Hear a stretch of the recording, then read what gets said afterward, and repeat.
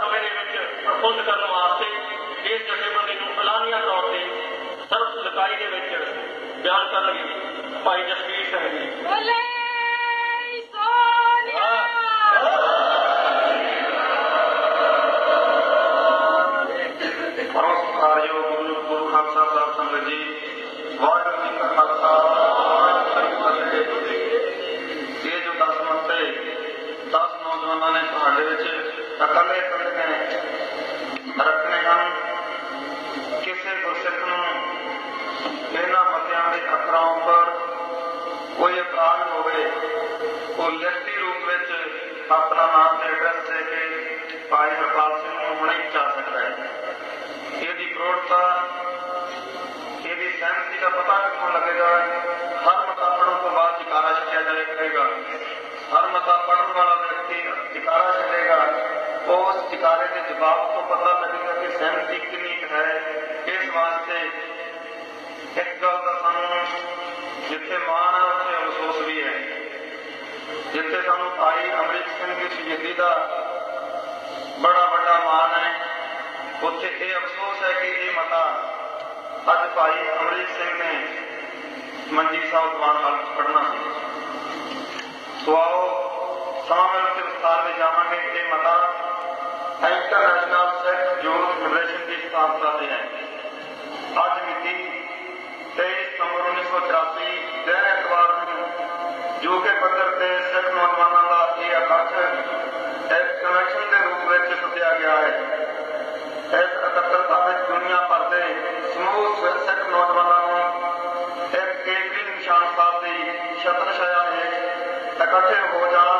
ਸਿੱਖ ਨੌਜਵਾਨਾਂ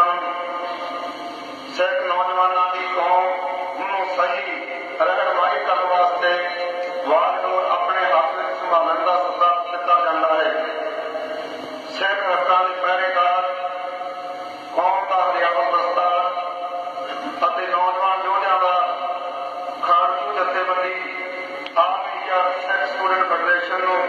ਵਿਸ਼ਵ ਪੱਧਰ ਤੇ ਸਥਾਪਿਤ ਕਰਨ ਲਈ ਉਪਰਾਲਾ ਕੀਤਾ ਗਿਆ ਹੈ। ਇਹ ਜਥੇਬੰਦੀ ਇੰਟਰਨੈਸ਼ਨਲ ਸਿੱਖ ਫੈਡਰੇਸ਼ਨ ਦੇ ਨਾਮ ਤੇ ਦੁਨੀਆ ਭਰ ਦੇ ਕੋਨੇ-ਕੋਨੇ ਵਿੱਚ ਸਿੱਖਾਂ ਦੀ ਅੰਤ ਨਿਸ਼ਾਨੇ ਦੀ ਪੂਰਤੀ, ਖਾਲਸਾ ਦੇ ਬੋਲਬਾਲੇ ਨੂੰ ਅਮਲੀ ਰੂਪ ਦੇਣ ਲਈ ਚੱਲ ਰਹੀ ਜਦੋਜਹਿਦ ਵਿੱਚ ਹਰ ਸਿੱਖ ਨੌਜਵਾਨ ਦੀ ਅਗਵਾਈ ਲਈ ਯਤਨਸ਼ੀਲ ਹੋਵੇਗੀ। ਆਲ ਇੰਡੀਆ ਸਿੱਖ ਸਟੂਡੈਂਟ ਦੇ ਮਹਾਨ ਯੋਧੇ ਸੂਰਬੀਰ ਜਰਨੈਲ, ਮਹਾਨ ਸ਼ਹੀਦ ਭਾਈ ਅਮਰੀਕ ਸਿੰਘ ਦੁਆਰਾ 25 ਮਾਰਚ 1984 ਨੂੰ ਫੈਡਰੇਸ਼ਨ ਦੀ ਹਾਈ ਕਮਾਂਡ ਵਿੱਚ ਪਾਸ ਕੀਤੇ ਮਤੇ ਅਨੁਸਾਰ ਇੱਕ ਵਿਸ਼ਵ ਪੱਧਰ ਤੇ ਇੰਟਰਨੈਸ਼ਨਲ ਸਿੱਖ ਫੈਡਰੇਸ਼ਨ ਦੀ ਜਥੇਬੰਦੀ ਨੂੰ ਕਾਇਮ ਕੀਤਾ ਜਾਵੇ।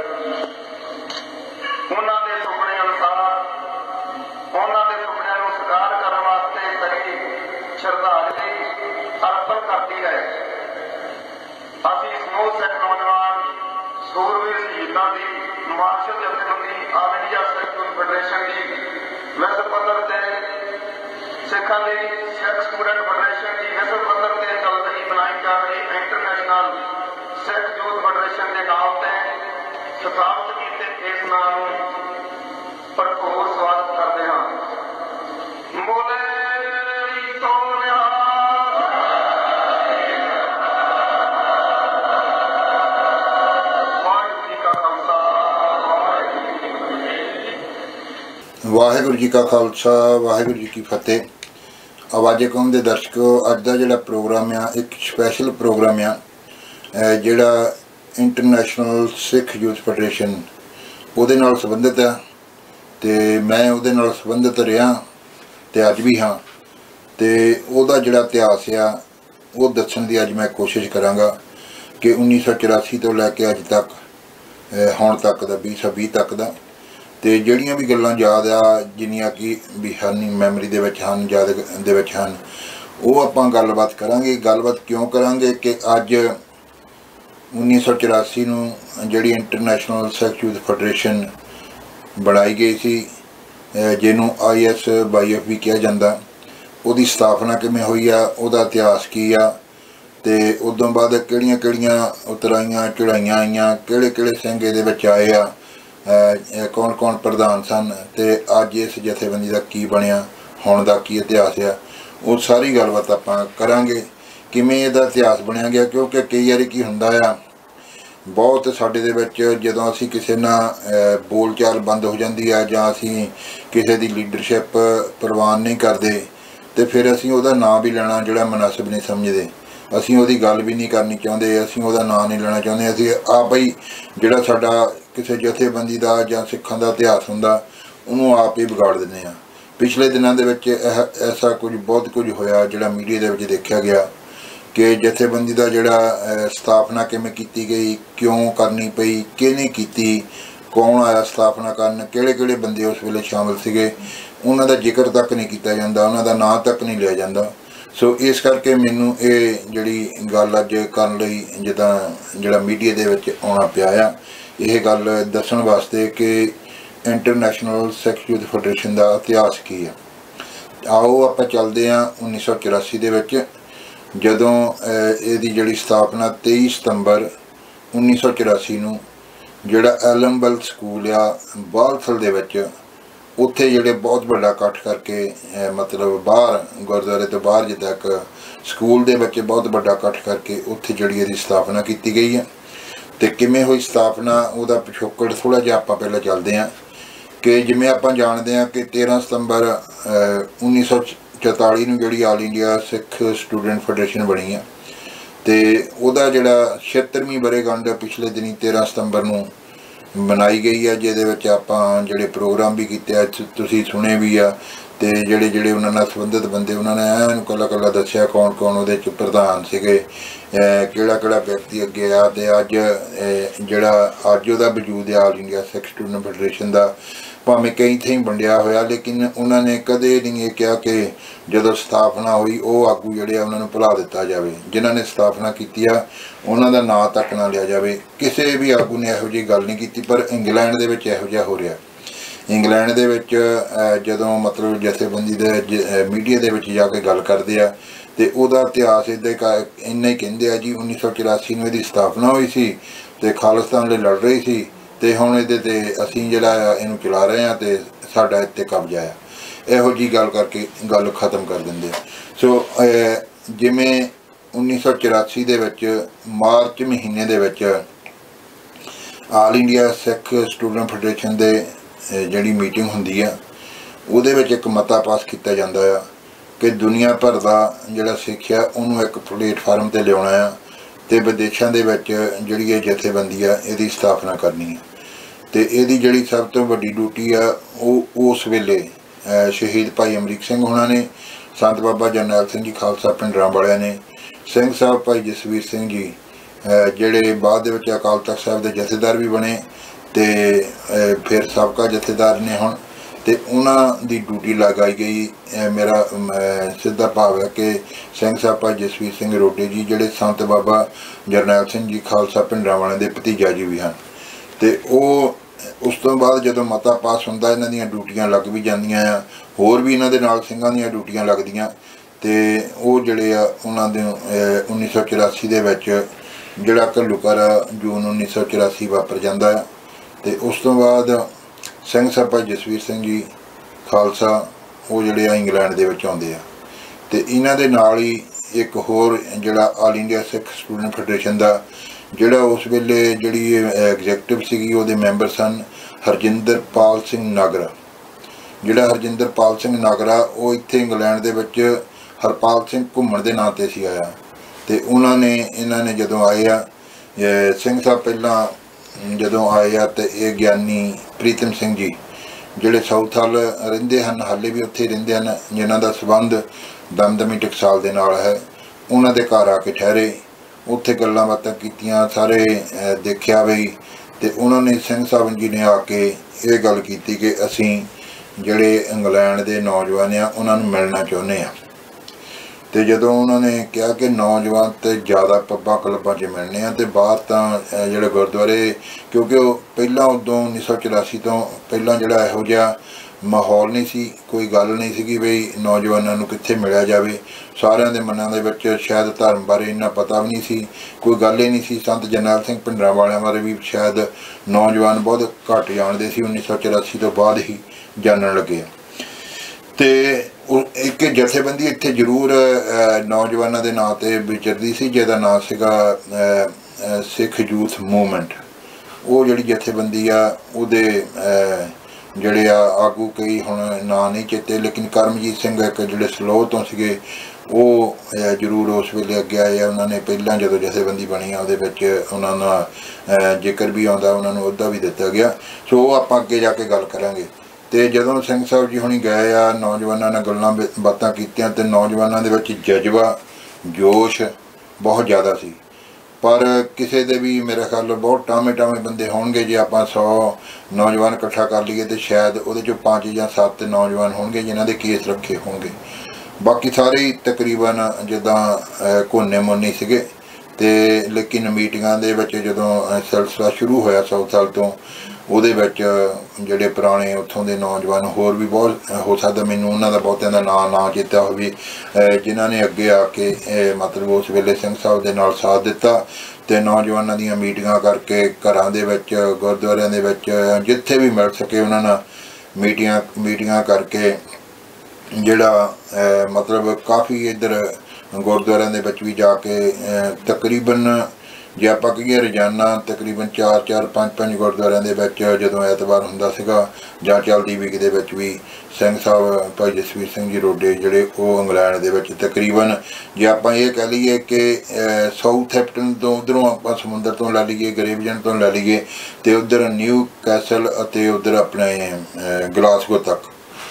ਜਿਹੜਾ ਉਹਨਾਂ ਨੇ ਸਾਰਾ ਹੀ ਜਿੱਦਾਂ ਤਕਰੀਬਨ ਕੋਈ ਹਿੱਸਾ ਛੱਡਿਆ ਨਹੀਂ ਜਿੱਥੇ ਨੌਜਵਾਨਾਂ ਨੂੰ ਮਤਲਬ ਪਹੁੰਚ ਨਾ ਕੀਤੀ ਹੋਵੇ। ਤੇ ਬਹੁਤ ਵੱਡਾ ਮਤਲਬ ਜਥੇਬੰਦੀਆਂ ਪਹਿਲਾਂ ਵੀ ਇੱਥੇ ਸਨ, ਡਾਕਟਰ ਜਗਜੀਤ ਸਿੰਘ ਚੌਹਾਨ ਜਿਹੜੇ ਮਤਲਬ ਉਸ ਵੇਲੇ ਵੈਸੇ ਉਹਨਾਂ ਨੂੰ ਖਾਲਿਸਤਾਨੀ ਆਗੂ ਕਿਹਾ ਜਾਂਦਾ ਸੀ ਉਹਦੇ ਨਾਂ ਤੇ ਵਿਚਰਦੇ ਸਨ ਫਿਰ ਉਸ ਤੋਂ ਬਾਅਦ ਜਦੋਂ 84 ਦਾ ਘੱਲੂਘਾਰਾ ਹੋਇਆ ਉਸ ਤੋਂ ਬਾਅਦ ਖਾਲਿਸਤਾਨ ਜਿਹੜੀ ਉਹਨਾਂ ਦੀ ਕੌਂਸਲ ਉਹ ਬਣਾਈ ਗਈ ਆ ਅਹ, ਮੁਜ਼ਾਹਰੇ ਕੀਤੇ ਗਏ ਆ ਫਿਰ ਖਾਲਿਸਤਾਨ ਰਿਪਬਲਿਕ ਜਿਹੜੀ ਆ ਇੱਕ ਹੋਰ ਜੀ ਜਥੇਬੰਦੀ ਬਣ- ਬਣੀ ਆ ਤੇ ਜਿਹੜੇ ਬੱਬਰ ਖਾਲਸਾ ਜਥੇਬੰਦੀ ਆ ਉਹ ਵੀ ਇੱਥੇ ਵਿਚਰਦੀ ਸੀ ਅਖੰਡ ਕੀਰਤਨ ਜਥਾ ਵੀ ਪਹਿਲਾਂ ਵਿਚਰਦਾ ਸੀ ਦਮਦਮੀ ਟਕਸਾਲ ਦੇ ਬੈਸੇ ਸਿੰਘ ਵਿਚਰਦੇ ਸਨ ਲੇਕਿਨ ਇਹ ਇੱਕ ਨਵੀਂ ਜਥੇਬੰਦੀ ਬਿਲਕੁਲ ਜਿੱਦਾਂ ਨੌਜਵਾਨ ਜਿਨ੍ਹਾਂ ਦਾ ਪਹਿਲਾਂ ਕੋਈ ਅਭਿਆਸ ਨਹੀਂ ਸੀਗਾ। ਸਿਆਸਤ ਦੇ ਵਿੱਚ, ਧਰਮ ਦੇ ਵਿੱਚ ਬਹੁਤ ਘੱਟ ਬੰਦੇ ਸੀਗੇ ਜਿਨ੍ਹਾਂ ਨੂੰ ਪਤਾ ਸੀਗਾ ਵੀ। ਲੇਕਿਨ ਇੱਕ ਜਜ਼ਬਾ, ਇੱਕ ਜਿਹੜਾ ਜੋਸ਼, ਉਹ ਬਹੁਤ ਜ਼ਿਆਦਾ ਸੀਗਾ ਕਿ ਜੋ ਭਾਰਤ ਦੀ ਸਰਕਾਰ ਨੇ, ਉਸ ਵੇਲੇ ਇੰਦਰਾ ਗਾਂਧੀ ਦੀ ਸਰਕਾਰ ਨੇ ਜਿਹੜਾ ਦਰਬਾਰ ਸਾਹਿਬ ਤੇ ਹਮਲਾ ਕੀਤਾ ਹੈ ਵੀ ਉਹਦਾ ਜਿਹੜਾ ਬਦਲਾ ਉਹ ਲੈਣਾ ਹੀ ਲੈਣਾ। ਇਸ ਕਰਕੇ ਨੌਜਵਾਨ ਧੜਾ ਧੜ ਜਿਹੜਾ ਇਸ ਜਥੇਬੰਦੀ ਵੱਲ ਖਿੱਚੇ ਗਏ। ਤੇ ਜਦੋਂ ਸਿੰਘ ਸਾਹਿਬ ਕਿਸੇ ਵੀ ਗੁਰਦੁਆਰਾ ਸਾਹਿਬ ਬੋਲਦੇ ਸਨ ਸਪੀਚ ਕਰਦੇ ਸਨ ਤੇ ਕਿਉਂਕਿ ਉਹ ਦੁਬਈ ਤੋਂ ਆਏ ਸਨ ਸਿੱਧੇ, ਲੇਕਿਨ ਉਹਨਾਂ ਦਾ ਦੁਬਈ ਦੇ ਵਿੱਚ ਬਿਜ਼ਨਸ ਹੀ ਉੱਥੋਂ ਹੀ ਸਿੱਧੇ ਇੱਥੇ ਆਏ ਸਨ ਤੇ ਜਦੋਂ ਇੱਥੇ ਕਿਸੇ ਵੀ ਗੁਰਦੁਆਰੇ ਬੋਲਦੇ ਸਨ ਤੇ ਬਹੁਤ ਉਹਨਾਂ ਦੇ ਜਿਹੜਾ ਸਪੀਚ ਦੇ ਵਿੱਚ ਜਾਂ ਜਿਹੜਾ ਲੈਕਚਰ ਹੁੰਦਾ ਸੀ, ਬਹੁਤ ਦਮ ਸੀਗਾ, ਬਹੁਤ ਹਰ ਬੰਦਾ ਜਿਹੜਾ ਉਹ ਉਧਰ ਪ੍ਰੇਰਿਆ ਜਾਂਦਾ ਸੀ ਕਿ ਮੈਂ ਇਸ ਜਥੇਬੰਦੀ ਦਾ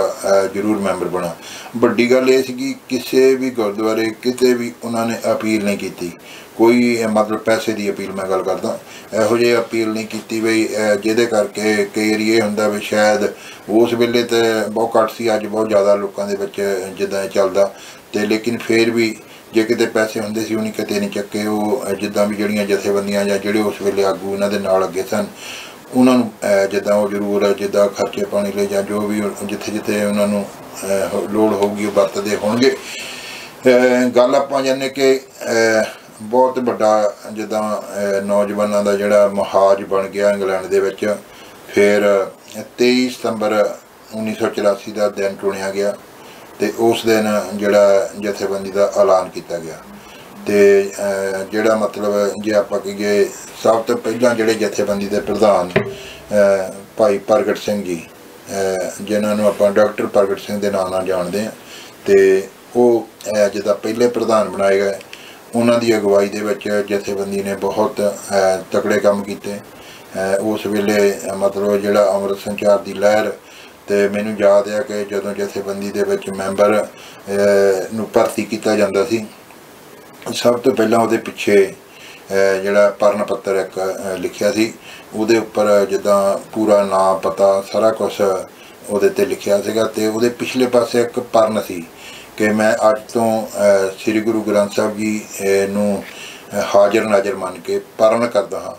ਕਿ ਮੈਂ ਇਸ ਜਥੇਬੰਦੀ ਦੇ ਨਾਲ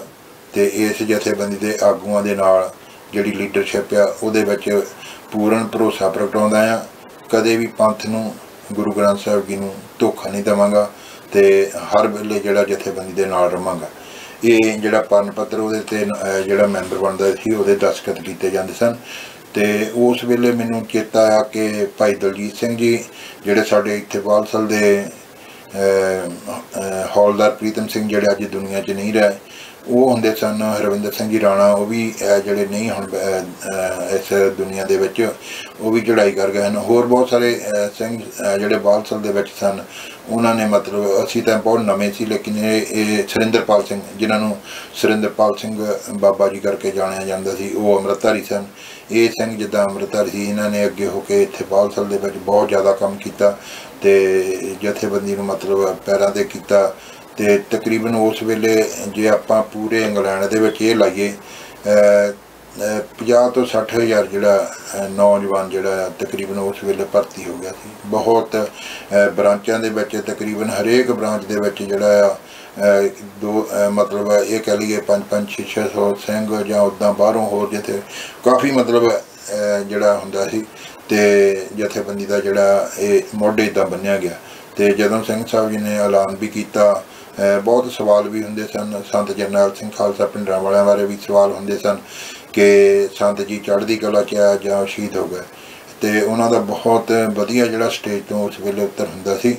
ਕਿ ਅਸੀਂ ਸੰਤ ਬਾਬਾ ਜਰਨੈਲ ਸਿੰਘ ਖਾਲਸਾ ਪਿੰਡਰਾਂ ਵਾਲਿਆਂ ਦਾ ਜਿਹੜਾ ਉਦੇਸ਼, ਉਹਨਾਂ ਦਾ ਜਿਹੜਾ ਸੁਪਨਾ, ਉਹ ਲੈ ਕੇ ਤੁਰੇ ਹੋਏ ਆ ਉਹਨੂੰ ਕਿਵੇਂ ਪੂਰਾ ਕਰਨਾ ਆ, ਉਹ ਆ। ਜੇ ਆਪਾਂ ਆਦੇਸ਼ ਨੂੰ, ਉਹਨਾਂ ਦੇ ਸੁਪਨੇ ਨੂੰ ਲੈ ਕੇ ਅੱਗੇ ਤੁਰਾਂਗੇ, ਜੇ ਸੰਤ ਸੰਤ ਚੜ੍ਹਦੀ ਕਲਾ 'ਚ ਹੋਏ, ਤਾਂ ਵੀ ਆ ਕੇ ਸ਼ਾਬਾਸ਼ੇ ਹੋਣਗੇ। ਜੇ ਸ਼ਹੀਦ ਵੀ ਹੋ ਗਏ ਹੋਣਗੇ, ਤੇ ਉਹਨਾਂ ਦਾ ਜਿਹੜਾ ਮਿਸ਼ਨ ਆ, ਉਹ ਨਹੀਂ ਰੁਕਣਾ ਚਾਹੀਦਾ। ਇਹ ਸਾਨੂੰ ਇਹਨਾਂ ਸੋਚਾਂ ਦੇ ਵਿੱਚ ਨਹੀਂ ਪੈਣਾ ਚਾਹੀਦਾ। ਇਹ ਗੱਲ 1984 ਦੇ ਵਿੱਚ ਉਹ ਕਿਹਾ ਕਰਦੇ ਸਨ। ਤੇ ਜਦੋਂ ਇਹ ਗੱਲਾਂ ਵਾਪਰ ਗਈਆਂ, ਜਥੇਬੰਦੀ ਦੀ ਸਥਾਪਨਾ ਹੋ ਗਈ, ਤੇ ਕੁਝ ਇਹ ਕਹਿ ਲਈਏ ਵੀ ਜਥੇਬੰਦੀ ਦੇ ਵਿੱਚ ਨੌਜਵਾਨ ਨਵੇਂ ਸਨ। ਕਈ ਗਰਮ ਗੱਲਾਂ, ਠੰਡੀਆਂ ਗੱਲਾਂ ਸਾਰੀਆਂ ਹੁੰਦੀਆਂ ਰਹਿੰਦੀਆਂ। ਪਰ ਉਸ ਵੇਲੇ ਜਿਹੜੇ ਕੋਈ ਚਲਾਕ ਲੋਕ ਸਨ, ਜਿਹੜੇ ਪੁਰਾਣੇ ਆਪਾਂ ਕਹਿ ਸਕਦੇ ਆ ਕਿ ਉਹਨਾਂ ਨੇ ਜਥੇਬੰਦੀ ਦੇ ਵਿੱਚ ਇਹ ਦੇਖਿਆ ਵੀ ਇਹ ਤੇ ਜਥੇਬੰਦੀ ਹਰ ਇੱਕ ਨੂੰ ਮਤਲਬ ਜਿਹੜਾ ਪਿੱਛੇ ਛੱਡ ਜਾਏਗੀ, ਅੱਗੇ ਨਿਕਲ ਜਾਏਗੀ। ਤੇ ਬਹੁਤ ਬਿਉਂਤਬੰਦੀ ਦੇ ਨਾਲ ਤੇ ਸਿੰਘ ਸਾਹਿਬ ਭਾਈ ਜਸਵੀਰ ਸਿੰਘ ਜੀ ਨੂੰ ਕਿਉਂਕਿ ਸਤੰਬਰ ਤੋਂ ਬਾਅਦ ਅਕਤੂਬਰ, ਨਵੰਬਰ ਦਾ ਆਉਂਦਾ ਤੇ ਧੰਨ ਧੰਨ ਸ੍ਰੀ ਗੁਰੂ ਨਾਨਕ ਦੇਵ ਮਹਾਰਾਜ ਦਾ ਜਿਹੜਾ ਪ੍ਰਕਾਸ਼ ਦਿਹਾੜਾ ਪਾਕਿਸਤਾਨ ਦੇ ਵਿੱਚ ਮਨਾਇਆ ਜਾਂਦਾ। ਤੇ ਇਹ ਇੱਕ ਜਿੱਦਾਂ ਗੱਲ ਫੈਲਾਈ ਜਾਂਦੀ ਆ, ਕੀਤੀ ਜਾਂਦੀ ਆ ਤੇ ਨੌਜਵਾਨਾਂ ਨੂੰ ਇੱਕ ਵੀਡੀਓ ਵੀ ਦਿਖਾਈ ਜਾਂਦੀ ਆ ਕਿ ਸੰਤ ਬਾਬਾ ਜਰਨੈਲ ਸਿੰਘ ਜੀ ਖਾਲਸਾ ਪਿੰਡਰਾਂ ਵਾਲੇ ਪਾਕਿਸਤਾਨ ਦੇ ਵਿੱਚ ਹਨ। ਉਹ video, black and white video ਸੰਤ, ਜਿੱਦਾਂ ਬੁੱਕਲ ਮਾਰੀ ਆ, ਉਹ ਦਿਖਾਈ ਜਾਂਦੀ ਆ। ਤੇ ਉਹ ਤਕਰੀਬਨ ਘਰ ਘਰ ਹਰ ਇੱਕ ਨੌਜਵਾਨ ਨੂੰ ਦਿਖਾਈ ਗਈ ਕਿ ਆਹ ਦੇਖ ਲਓ ਸੰਤ ਜਰਨੈਲ ਸਿੰਘ ਪਿੰਡਰਾਂ ਵਾਲੇ ਪਾਕਿਸਤਾਨ ਦੇ ਵਿੱਚ ਹਨ। ਤੇ ਇਹ ਪਲਾਨ ਬਣਿਆ ਕਿ ਜਿਹੜੇ ਸਿੰਘ ਸਾਹਿਬ ਆ, ਉਹ ਉਹਨਾਂ ਨੂੰ ਮਿਲਣ ਜਾਣਗੇ। ਉਹ ਪਾਕਿਸਤਾਨ ਜਾ, ਉੱਥੇ ਮਤਲਬ ਗੁਰੂ ਨਾਨਕ ਦੇਵ ਜੀ ਦੇ ਗੁਰਪੁਰਬ ਤੇ ਗਏ ਆ ਤੇ ਜਦੋਂ ਉਹ ਵਾਪਸ ਆਏ ਆ ਤੇ ਉੱਥੇ ਸੰਤ ਉਹਨਾਂ ਨੂੰ ਮਿਲੇ ਜਾਂ ਨਹੀਂ ਮਿਲੇ, ਉਹ ਤਾਂ ਸਿੰਘ ਸਾਹਿਬ ਭਾਈ ਜਸਵੀਰ ਸਿੰਘ ਰੋਡੇ ਹੀ ਦੱਸ ਸਕਦੇ ਆ। ਤੇ ਪਰ ਉਹ ਜਦੋਂ ਵਾਪਸ ਆਏ ਆ, ਜਿਹੜਾ ਉਹਨਾਂ ਦਾ ਲੋਕਾਂ ਦਾ ਪਲਾਨ ਸੀ ਬਈ ਇਹ ਇੱਥੇ ਕਿਤੇ ਇੰਗਲੈਂਡ ਦੇ ਵਿੱਚ ਟਿਕ ਨਾ ਜਾਣ, ਉਹਦੇ ਵਿੱਚ ਉਹ ਜ਼ਰੂਰ ਕਾਮਯਾਬ ਹੋ ਗਏ। ਕਿਉਂਕਿ ਜਦੋਂ ਵਾਪਸ ਆਏ ਆ ਤੇ ਸਿੰਘ ਸਾਹਿਬ ਭਾਈ ਜਸਵੀਰ ਸਿੰਘ ਜੀ ਨੂੰ, ਉਹਨਾਂ ਨੇ ਜਿਹੜਾ ਇੰਗਲੈਂਡ ਦੇ ਵਿੱਚ ਦਾਖਲ ਨਹੀਂ ਹੋਣ ਦਿੱਤਾ ਗਿਆ। ਬਹੁਤ ਦੋ ਤਿੰਨ ਦਿਨ ਇੱਥੇ ਲੰਡਨ ਹੀਥਰੋ 에ਅਰਪੋਰਟ ਤੇ ਵੀ ਰੋਕੀ ਗਿਆ। ਜਿਹੜੇ ਬੰਦੇ ਮੋਹਰੇ ਸੀ ਨੌਜਵਾਨ ਤਾਂ ਇੰਨੇ ਜੋਸ਼ ਦੇ ਵਿੱਚ ਸਨ ਵੀ ਅਸੀਂ ਕੀ ਦਾ ਕੀ ਕਰ ਦਈਏ, ਪਰ ਉਹਨਾਂ ਦਾ ਕਿਸੇ ਦਾ ਬਸ ਨਹੀਂ ਚੱਲਿਆ ਤੇ ਉਹਨਾਂ ਨੂੰ ਜਿਹੜਾ ਡਿਪੋਰਟ ਕਰ ਦਿੱਤਾ ਗਿਆ ਦੁਬਈ ਦੇ ਵਿੱਚ। ਦੁਬਈ ਦੇ ਵਿੱਚ ਜਦੋਂ ਉਹਨਾਂ ਨੂੰ ਡਿਪੋਰਟ ਕੀਤਾ ਤੇ ਉੱਥੋਂ ਇੰਡੀਆ ਦੀ ਜਿਹੜੀ ਸਰਕਾਰ ਨੇ, ਉੱਥੋਂ ਦੇ ਜਿਹੜੀ ਆ ਦੁਬਈ ਦੀ ਸਰਕਾਰ, ਉਹਨੇ ਉਹਨਾਂ ਤੱਕ ਵੀ ਪਹੁੰਚ ਕਰਕੇ ਉੱਥੋਂ ਵੀ ਉਹਨਾਂ ਨੂੰ ਮਤਲਬ ਅਰੈਸਟ ਕਰਨ ਦੀ ਕੋਸ਼ਿਸ਼ ਕੀਤੀ। ਉਦੋਂ ਬਾਅਦ ਉਹ ਮਲੇਸ਼ੀਆ ਜਿਹੜਾ ਮਤਲਬ ਜਿਹੜਾ ਆ ਉੱਥੇ ਉਹਨਾਂ ਦਾ ਉਹਨਾਂ ਨੂੰ ਉਹ ਚਲ ਗਏ ਉੱਥੋਂ ਜਦੋਂ ਮਤਲਬ ਜਿਹੜਾ ਸਰਕਾਰ ਨੇ ਜਿਹੜਾ ਉਹਨਾਂ ਨੂੰ ਗ੍ਰਿਫਤਾਰ ਕਰ ਲਿਆ ਕਰ ਲਿਆ ਅਹ, ਤੇ ਮੀਨਾ ਲਾ ਮੇਰੇ ਖਿਆਲ ਇਦਾਂ ਉਹਨਾਂ ਉਹ ਸ਼ਹਿਰ ਦਾ 에어ਪੋਰਟ ਦਾ ਨਾਮ ਹੈ ਜਿੱਥੋਂ ਉਹਨਾਂ ਨੂੰ ਵਾਪਸ ਜਿਹੜਾ ਲਿਜਾ ਕੇ ਸਭ ਤੋਂ ਪਹਿਲਾਂ ਜਿਹੜਾ ਉਹਨਾਂ ਨੂੰ ਜਿਹੜੀਆਂ ਜੇਲ੍ਹਾਂ ਦੇ ਵਿੱਚ ਡੱਕਿਆ ਗਿਆ, ਜੋਧਪੁਰ ਜੇਲ੍ਹ 'ਚ ਵੀ ਰਹੇ, ਤੇ ਹੋਰ ਇੱਕ ਸਾਗਰ ਜੇਲ੍ਹ ਆ, ਉਹਦੇ ਵਿੱਚ ਵੀ ਰਹੇ, ਤੇ ਉਸ ਤੋਂ ਬਾਅਦ ਜਿਹੜਾ ਤਿਹਾੜ ਜੇਲ੍ਹ ਆ ਦਿੱਲੀ ਦੇ ਵਿੱਚ, ਉਹਦੇ ਵਿੱਚ ਵੀ ਉਹਨਾਂ ਨੂੰ ਰੱਖਿਆ ਗਿਆ। ਪਿੱਛੋਂ ਇੱਥੇ ਇੰਗਲੈਂਡ ਦੇ ਵਿੱਚ ਜਿਹੜੀ ਜਥੇਬੰਦੀ ਦੀ ਅਗਵਾਈ ਉਸ ਵੇਲੇ ਡਾਕਟਰ ਪ੍ਰਗਟ ਸਿੰਘ ਜੀ ਕਰਦੇ ਸਨ। ਜਥੇਬੰਦੀ ਨੇ ਫੇਰ ਵੀ ਭਾਵੇਂ ਜਿਹੜੇ ਜਥੇਬੰਦੀ ਦੇ ਆਗੂ ਬਾਨੀ ਸਿੰਘ ਸਾਹਿਬ ਜਸਵੀਰ ਸਿੰਘ ਜੀ ਫੜੇ ਵੀ ਗਏ, ਲੇਕਿਨ ਉਹਨਾਂ ਦੇ ਵਿੱਚ ਜਥੇਬੰਦੀ ਨੇ ਬਹੁਤ ਮਤਲਬ ਤਕੜਾ ਕੰਮ ਕੀਤਾ ਹਰ ਵੇਲੇ ਮਤਲਬ ਉਹਨਾਂ ਦੇ ਗੱਲਬਾਤ ਜਾਂ ਜੋ ਵੀ ਜਥੇਬੰਦੀ ਨੂੰ ਅੱਗੇ ਵਧਾਉਣ ਦੇ ਵਿੱਚ। ਤੇ ਜਿਹਦੇ ਵਿੱਚ ਉਸ ਵੇਲੇ ਦੇ ਬੁਲਾਰੇ ਜਿਹੜੇ ਮਤਲਬ ਖਾਸ ਹੁੰਦੇ ਸਨ ਜਿਨ੍ਹਾਂ ਦੀਆਂ ਸਪੀਚਾਂ ਸੁਣ ਕੇ ਜਿਹੜੇ ਮਤਲਬ ਜਥੇਬੰਦੀ ਦੇ ਵਿੱਚ ਜੋਸ਼ ਆਉਂਦਾ ਸੀਗਾ, ਉਹਦੇ ਵਿੱਚ ਭਾਈ ਹਰਵਿੰਦਰ ਸਿੰਘ ਜੀ ਬੁਲਵਰੇਪਟਨ ਤੋਂ ਹੁੰਦੇ ਸਨ। ਬਹੁਤ ਵਧੀਆ ਜਿਹੜਾ ਉਹਨਾਂ ਦਾ ਲੈਕਚਰ ਹੁੰਦਾ ਸੀਗਾ ਤੇ ਬਹੁਤ ਲੰਮਾ ਸਮਾਂ ਉਹਨਾਂ ਨੇ ਜਥੇਬੰਦੀ ਦੇ ਵਿੱਚ ਜਿਹੜਾ ਆਪਣਾ ਲੈਕਚਰ ਕੀਤਾ, ਜਿਹਦੇ ਨਾਲ ਲੋਕਾਂ ਨੂੰ ਪ੍ਰੇਰਿਆ, ਜਥੇਬੰਦੀ ਲਈ ਕੰਮ ਕੀਤਾ, ਤੇ ਇੱਕ ਸਰਦਾਰ ਬਲਿਹਾਰ ਸਿੰਘ ਜੀ ਰੰਧਾਵਾ ਜਿਹੜੇ ਲੈਸਟਰ ਤੋਂ। ਉਹ ਮਤਲਬ ਹਾਲੇ ਵੀ ਹੈਗੇ ਆ, ਲੇਕਿਨ ਉਹ ਜਥੇਬੰਦੀ ਤੋਂ ਫਿਰ ਪਿੱਛੇ ਹਟ ਗਿਆ ਸਨ। ਤੇ ਉਹਨਾਂ ਨੇ ਵੀ ਜਥੇਬੰਦੀ ਦਾ ਜਿਹੜਾ ਲੈਕਚਰ ਕਰਨ ਦਾ, ਉਹ ਦਮ ਬੜਾ ਹੁੰਦਾ ਸੀਗਾ, ਮਤਲਬ ਖਿੱਚ ਬਹੁਤ ਹੁੰਦੀ ਸੀਗੀ। ਬਹੁਤ ਵਧੀਆ ਜਿਹੜਾ ਉਹ ਲੈਕਚਰ ਕਰਦੇ ਸਨ, ਜਿਹਦੇ ਨਾਲ ਨੌਜਵਾਨ ਜੁੜਦੇ ਸਨ। ਸੋ ਅਹ, ਇਸੇ ਤਰ੍ਹਾਂ ਜਿਹੜੇ ਦੂਸਰੇ ਪ੍ਰਧਾਨ ਜਥੇਬੰਦੀ ਦੇ ਇੰਗਲੈਂਡ ਦੇ ਵਿੱਚ ਬਣੇ ਆ ਉਹ ਡਾਕਟਰ ਜਸਦੇਵ ਸਿੰਘ ਜੀ ਰਾਏ। ਤੇ ਪਹਿਲੇ ਸਾਲ ਜਦੋਂ ਜਥੇਬੰਦੀ ਦੇ ਵਿੱਚ ਥੋੜਾ ਜਿਹਾ ਜਿੱਦਾਂ ਜਿੱਦਾਂ ਫੁੱਟ ਦੇ ਬੀਜ ਜਿਹੜੇ ਆ ਉਹ ਬੀਜ ਹੋ ਗਏ ਸੀਗੇ ਤੇ ਜਥੇਬੰਦੀ ਦੇ ਵਿੱਚ ਇੱਕ ਕੁਝ ਹਿੱਸਾ ਜਿਹੜਾ ਇਹਦੇ ਨਾਲੋਂ ਵੱਖ ਵੀ ਹੋ ਗਿਆ ਸੀ। ਤੇ ਉਹ ਜ- ਉਹ ਜਿਵੇਂ ਆਪਣੇ ਇੰਟਰਨੈਸ਼ਨਲ ਸਿੱਖ ਯੂਥ ਫੈਡਰੇਸ਼ਨ ਲਿਖਦੇ ਸਨ, ਲੇਕਿਨ ਬ੍ਰੈਕਟ ਦੇ ਵਿੱਚ ਨਾਲ ਦਮਦਮੀ ਟਕਸਾਲ ਲਿਖਣ ਲੱਗੇ ਉਹਨਾਂ ਦੇ ਜਿਹੜਾ ਉਹਨੇ ਪਹਿਲਾਂ ਪ੍ਰਧਾਨ ਸੁਣੇ ਭਾਈ ਬਲਵਿੰਦਰ ਸਿੰਘ ਜੀ ਚਹੇੜੂ, ਉਹਨਾਂ ਨੂੰ ਬਣਾਇਆ ਗਿਆ ਤੇ ਉਹ ਆਪਣੇ ਤੌਰ ਤੇ ਜਿਹੜਾ ਵੱਖਰੇ ਤੌਰ ਤੇ ਕੰਮ ਕਰਦੇ ਰਹੇ। ਇਸੇ ਹੀ ਤਰ੍ਹਾਂ ਕੰਮ ਚੱਲਦੇ ਗਿਆ ਤੇ ਤੀਸਰੇ ਪ੍ਰਧਾਨ ਜਿਹੜੇ ਜਥੇਬੰਦੀ ਦੇ ਭਾਈ ਤਰਸੇਮ ਸਿੰਘ ਜੀ ਪੱਤੜ ਜਿਹੜੇ ਉਹ ਬਣੇ ਆ ਤੇ ਜਦੋਂ ਉਹ ਪ੍ਰਧਾਨ ਬਣੇ ਤਾਂ ਉਦੋਂ ਵੀ ਇੱਕ ਜਥੇਬੰਦੀ ਦਾ ਜਿਹੜਾ ਮਤਲਬ ਹਿੱਸਾ ਸੀਗਾ ਤੇ ਕੁਝ ਜਥੇਬੰਦੀ ਦੇ ਪਿੱਛੇ ਆਪਸ ਵਿੱਚ ਜਿੱਦਾਂ ਸਬੰਧਾਂ ਦੀ ਗੱਲ ਆ ਜਾਂਦੀ ਆ ਵੀ ਅਸੀਂ ਕਿਹਦੇ ਨਾਲ ਚੱਲਣਾ, ਕਿੱਦਾਂ ਚੱਲਣਾ, ਉਹ ਸਬੰਧਾਂ ਨੂੰ ਲੈ ਕੇ ਵੀ ਜਿਹੜੇ ਕੁਝ ਨੌਜਵਾਨ ਜਿਵੇਂ ਭਾਈ ਪਰਮਿੰਦਰ ਸਿੰਘ ਜੀ ਬੱਲ ਭਾਈ ਆਪਣੇ ਨਰਿੰਦਰਜੀਤ ਸਿੰਘ ਜੀ, ਹੋਰ ਇਹਨਾਂ ਦੇ ਨਾਲ ਜਿਹੜੇ ਸਿੰਘ ਸਨ, ਸਾਊਥ ਵਾਲੇ ਪਾਸੇ ਦੇ ਸਿੰਘ, ਉਹ ਇੰਟਰਨੈਸ਼ਨਲ ਸਿੱਖ ਯੂਥ ਫੈਡਰੇਸ਼ਨ ਜਿੱਦਾਂ ਉਹ ਵੱਖਰੇ ਹੋ ਗਏ। ਤੇ ਉਹਨਾਂ ਨੇ ਆਪਣੇ ਤੌਰ ਤੇ ਜਿੱਦਾਂ ਜਥੇਬੰਦੀ ਦਾ ਜਿਹੜਾ ਕੰਮ ਕਰਨਾ ਸ਼ੁਰੂ ਕਰ ਦਿੱਤਾ। ਇਸ ਤਰ੍ਹਾਂ ਇੰਗਲੈਂਡ ਦੇ ਵਿੱਚ ਜਿਹੜੀ ਜਥੇਬੰਦੀ ਮਤਲਬ ਬਹੁਤ ਚੜ੍ਹਦੀ ਕਲਾ ਦੇ ਵਿੱਚ ਬਣੀ ਸੀ, ਉਹਦੇ ਤਿੰਨ ਹਿੱਸੇ ਜਿੱਦਾਂ ਉਸ ਵੇਲੇ ਬਣ ਗਏ। ਤੇ ਜਥੇਬੰਦੀ ਦੇ ਵਿੱਚ ਜਿਹੜੇ ਸਿੰਘਾਂ ਨੇ ਕੰਮ ਕੀਤਾ, ਚਾਹੇ ਉਹ ਕੋਈ ਵੀ ਕਿਸੇ ਵੀ ਧੜੇ ਨਾ ਹੋਵੇ, ਲੇਕਿਨ ਜਿਨ੍ਹਾਂ ਨੇ ਜਿਹਦੇ ਵਿੱਚ ਕੁਝ ਨਾਮ ਮੈਂ ਲਵਾਂਗਾ ਭਾਈ ਕਰਮਜੀਤ ਸਿੰਘ ਜੀ ਜਿਨ੍ਹਾਂ ਨੂੰ ਭਾਊ ਕਰਕੇ ਜਾਣਿਆ ਜਾਂਦਾ। ਉਹਨਾਂ ਨੇ ਜਥੇਬੰਦੀ ਦੇ ਵਿੱਚ ਬਹੁਤ ਚੜ੍ਹਦੀ ਕਲਾ ਦੇ ਭਾਵੇਂ ਉਹ ਕਦੇ ਪੈਨਲ ਦੇ ਵਿੱਚ ਨਹੀਂ ਆਏ, ਲੇਕਿਨ ਬਹੁਤ ਜਿੱਦਾਂ ਵਧੀਆ ਸਲਾਹਕਾਰ ਸਨ। ਪਿੱਛੋਂ ਕਿਉਂਕਿ ਸੰਘਰਸ਼ ਦੇ ਵਿੱਚ ਆਏ ਸਨ। ਭਾਈ ਸੁਲੱਖਣ ਸਿੰਘ ਜੀ ਜਿਹੜੇ ਗਰੀਬ ਜਨ ਤੋਂ ਸਨ, ਉਹਨਾਂ ਨੇ ਵੀ ਬਹੁਤ ਵੱਡੀ ਕੁਰਬਾਨੀ ਕੀਤੀ, ਜੇਲ੍ਹਾਂ ਵੀ ਕੱਟੀਆਂ। ਤੇ ਇਸੇ ਹੀ ਤਰ੍ਹਾਂ ਭਾਈ ਕਰਮਜੀਤ ਸਿੰਘ ਭਾਊ, ਉਹਨਾਂ ਨੇ 6 ਸਾਲ ਜਿਹੜੀ ਆ ਜਿਹੜੀ ਨੈਸ਼ਨਲ ਸਿਕਿਉਰਿਟੀ ਦੇ ਅਧੀਨ ਜੇਲ੍ਹ ਕੱਟੀ ਆ। ਤੇ ਇਹਦੇ ਵਿੱਚ ਜਿਵੇਂ ਭਾਈ ਸੁਖਵਿੰਦਰ ਸਿੰਘ ਤੇ ਭਾਈ ਜਰਨੈਲ ਸਿੰਘ ਰਾਣਾ ਤੇ ਭਾਈ ਪਰਮਾਤਮਾ ਸਿੰਘ, ਇਹ ਤਿੰਨ ਬੰਦਿਆਂ ਨੂੰ ਵੀ ਜਿੱਦਾਂ ਜਥੇਬੰਦੀ ਦੇ ਵਿੱਚ ਜਦੋਂ ਪਹਿਲੀਆਂ ਸ਼ੁਰੂਆਤ ਦੇ ਵਿੱਚ ਇਸ ਕਰਕੇ ਅਰੈਸਟ ਕਰ ਲਿਆ ਸੀ ਕਿ ਇਹਨਾਂ ਨੇ ਇੰਗਲੈਂਡ ਦੇ ਵਿੱਚ ਰਾਜੀਵ ਗਾਂਧੀ ਨੂੰ ਸੀ, ਉਹਨੂੰ ਕਤਲ ਕਰਨਾ ਸੀ ਤੇ ਉਹਦਾ ਦੋਸ਼ ਲਾ ਕੇ ਇਹਨਾਂ ਨੂੰ ਅਰੈਸਟ ਕਰ ਲਿਆ। ਇਹਨਾਂ ਸਿੰਘਾਂ ਨੇ ਵੀ ਤਕਰੀਬਨ 14 14 ਸਾਲ ਜਿਹੜੀ ਹੈ ਮਤਲਬ ਜਿਹੜਾ ਪਰਮਾਤਮਾ ਸਿੰਘ ਹੈ, ਉਹਨਾਂ ਨੂੰ ਤਾਂ ਪਹਿਲਾਂ ਛੱਡਤਾ ਹੀ, ਲੇਕਿਨ ਸੁਖਵਿੰਦਰ ਸਿੰਘ ਗੈਲ ਤੇ ਭਾਈ ਜਰਨੈਲ ਸਿੰਘ ਰਾਣਾ, ਇਹਨਾਂ ਨੇ ਕਾਫੀ ਜਿਹੜੀ ਲੰਬੀ ਜੇਲ੍ਹ ਕੱਟੀ ਤੇ ਉਸ ਤੋਂ ਬਾਅਦ ਜਿਹੜਾ ਇਹਨਾਂ ਨੂੰ ਮਤਲਬ ਰਿਹਾ ਕੀਤਾ ਗਿਆ ਤੇ ਬਹੁਤ ਵੱਡੀ ਇਹਨਾਂ ਸਿੰਘਾਂ ਦੀ ਕੁਰਬਾਨੀ ਇਹਨਾਂ ਨੂੰ ਕਦੇ ਵੀ ਭੁਲਾਇਆ ਨਹੀਂ ਜਾ ਸਕਦਾ ਕਿ ਉਹਨਾਂ ਨੇ ਜੋ ਕੀਤਾ ਜਥੇਬੰਦੀ ਵਾਸਤੇ ਜਾਂ ਜਥੇਬੰਦੀ ਦੀ ਜਿਹੜੀ ਨੀਤੀ ਸੀ ਉਹਦੇ ਅਧੀਨ ਕੀਤਾ। ਤੇ ਇਸੇ ਹੀ ਤਰ੍ਹਾਂ ਜਿਹੜਾ ਜਥੇਬੰਦੀ ਦੇ ਵਿੱਚ ਦਾਸ ਨੂੰ ਵੀ ਨੈਸ਼ਨਲ ਸਿਕਿਉਰਿਟੀ ਦੇ ਅਧੀਨ 1995 ਦੇ ਵਿੱਚ 20 ਮਹੀਨੇ ਤਕਰੀਬਨ ਇੱਥੇ ਜਿਹੜੀ ਆ ਉਹ ਜੇਲ੍ਹ ਝੱਲਣੀ ਪਈ ਆ। ਤੇ ਉਹ ਵੀ ਜਿਹੜਾ ਜਥੇਬੰਦੀ ਕਰਕੇ ਜਿਹੜੀਆਂ ਇਹ ਚੀਜ਼ਾਂ ਤਾਂ ਦੱਸ ਰਹੇ ਕਿ ਬਹੁਤ ਜਿਹੜੇ ਨਵੇਂ ਨੌਜਵਾਨ ਨੇ ਉਹਨਾਂ ਨੂੰ ਪਤਾ ਨਹੀਂ ਵੀ ਸ਼ਾਇਦ ਇਹ ਜਿਹੜੇ ਅਹ, ਪਹਿਲਾਂ ਨੌਜਵਾਨ ਸੀ ਜਾਂ ਹੁਣ ਤਾਂ ਅਸੀਂ ਬਜ਼ੁਰਗ ਹੋ ਗਏ ਹਾਂ, ਜਦੋਂ ਉਦੋਂ ਮਤਲਬ ਜਿਹੜੇ ਜਥੇਬੰਦੀ ਨੇ ਕਿਹੜੀਆਂ ਕਿਹੜੀਆਂ ਪ੍ਰਾਪਤੀਆਂ ਕੀਤੀਆਂ। ਤੇ ਇਸੇ ਹੀ ਤਰ੍ਹਾਂ ਜਿਹੜਾ ਜਥੇਬੰਦੀ ਨੇ ਇਹ ਤੇ ਮੈਂ ਦੱਸ ਰਿਹਾ ਜਿਹੜਾ ਮੋٹے-ਮੋٹے ਤੌਰ ਤੇ ਜਿਹੜੇ ਸਿੰਘਾਂ ਨੇ ਕੰਮ ਕੀਤੇ ਆ ਕਿਉਂਕਿ ਉਸ ਵੇਲੇ ਜਿਹੜਾ ਖਾੜਕੂ ਸੰਘਰਸ਼ ਪੰਜਾਬ ਦੇ ਵਿੱਚ ਮੈਦਾਨੇ ਜੰਗ ਵਿੱਚ ਚੱਲਦਾ ਸੀ ਤੇ ਉਹਨੂੰ ਲੈ ਕੇ ਵੀ ਬਹੁਤ ਸਿੰਘਾਂ ਨੇ, ਜਿਵੇਂ ਇੱਥੋਂ ਇੰਗਲੈਂਡ ਤੋਂ ਵੀ ਭਾਈ ਹਰਦੇਵ ਸਿੰਘ ਜੀ ਬਾਪੂ, ਭਾਈ ਗੁਰਚੰਦ ਸਿੰਘ ਜੀ ਵਾਲਸਲ, ਇਹਨਾਂ ਨੂੰ ਵੀ ਜਾ ਕੇ ਜਿਹੜੀ ਸ਼ਹੀਦੀ ਪ੍ਰਾਪਤ ਕੀਤੀ ਆ। ਤੇ ਜਿਵੇਂ ਮੈਂ ਗੱਲ ਕਰਦਾ ਕਿ ਜਦੋਂ ਜਥੇਬੰਦੀ ਕੰਮ ਕਰਦੀ ਆ ਉਹਦੇ ਵਿੱਚ ਕਈ ਗੱਲਾਂ ਜਿਹੜੀਆਂ ਰਹਿ ਜਾਂਦੀਆਂ ਪਰ ਜਿਵੇਂ ਜਿਵੇਂ ਮੈਨੂੰ ਯਾਦ ਆਉਣੀਆਂ ਮੈਂ ਜ਼ਿਆਦਾ ਹੀ ਜਿਹੜੀਆਂ ਚੇਤੇ ਕਰ ਰਿਹਾ। ਤੇ ਕਿਉਂਕਿ ਜਦੋਂ ਜਥੇਬੰਦੀ ਬਣੀ ਸੀ ਉਹਦੇ ਵਿੱਚ ਕਲੀਅਰ ਸੀਗਾ ਕਿ ਇਹਦੇ ਇਹਦਾ ਜਿਹੜੀ ਇਹ, ਅਹ, ਮੋਢਿਆ ਉਹ ਦਮਦਮੀ ਟਕਸਾਲ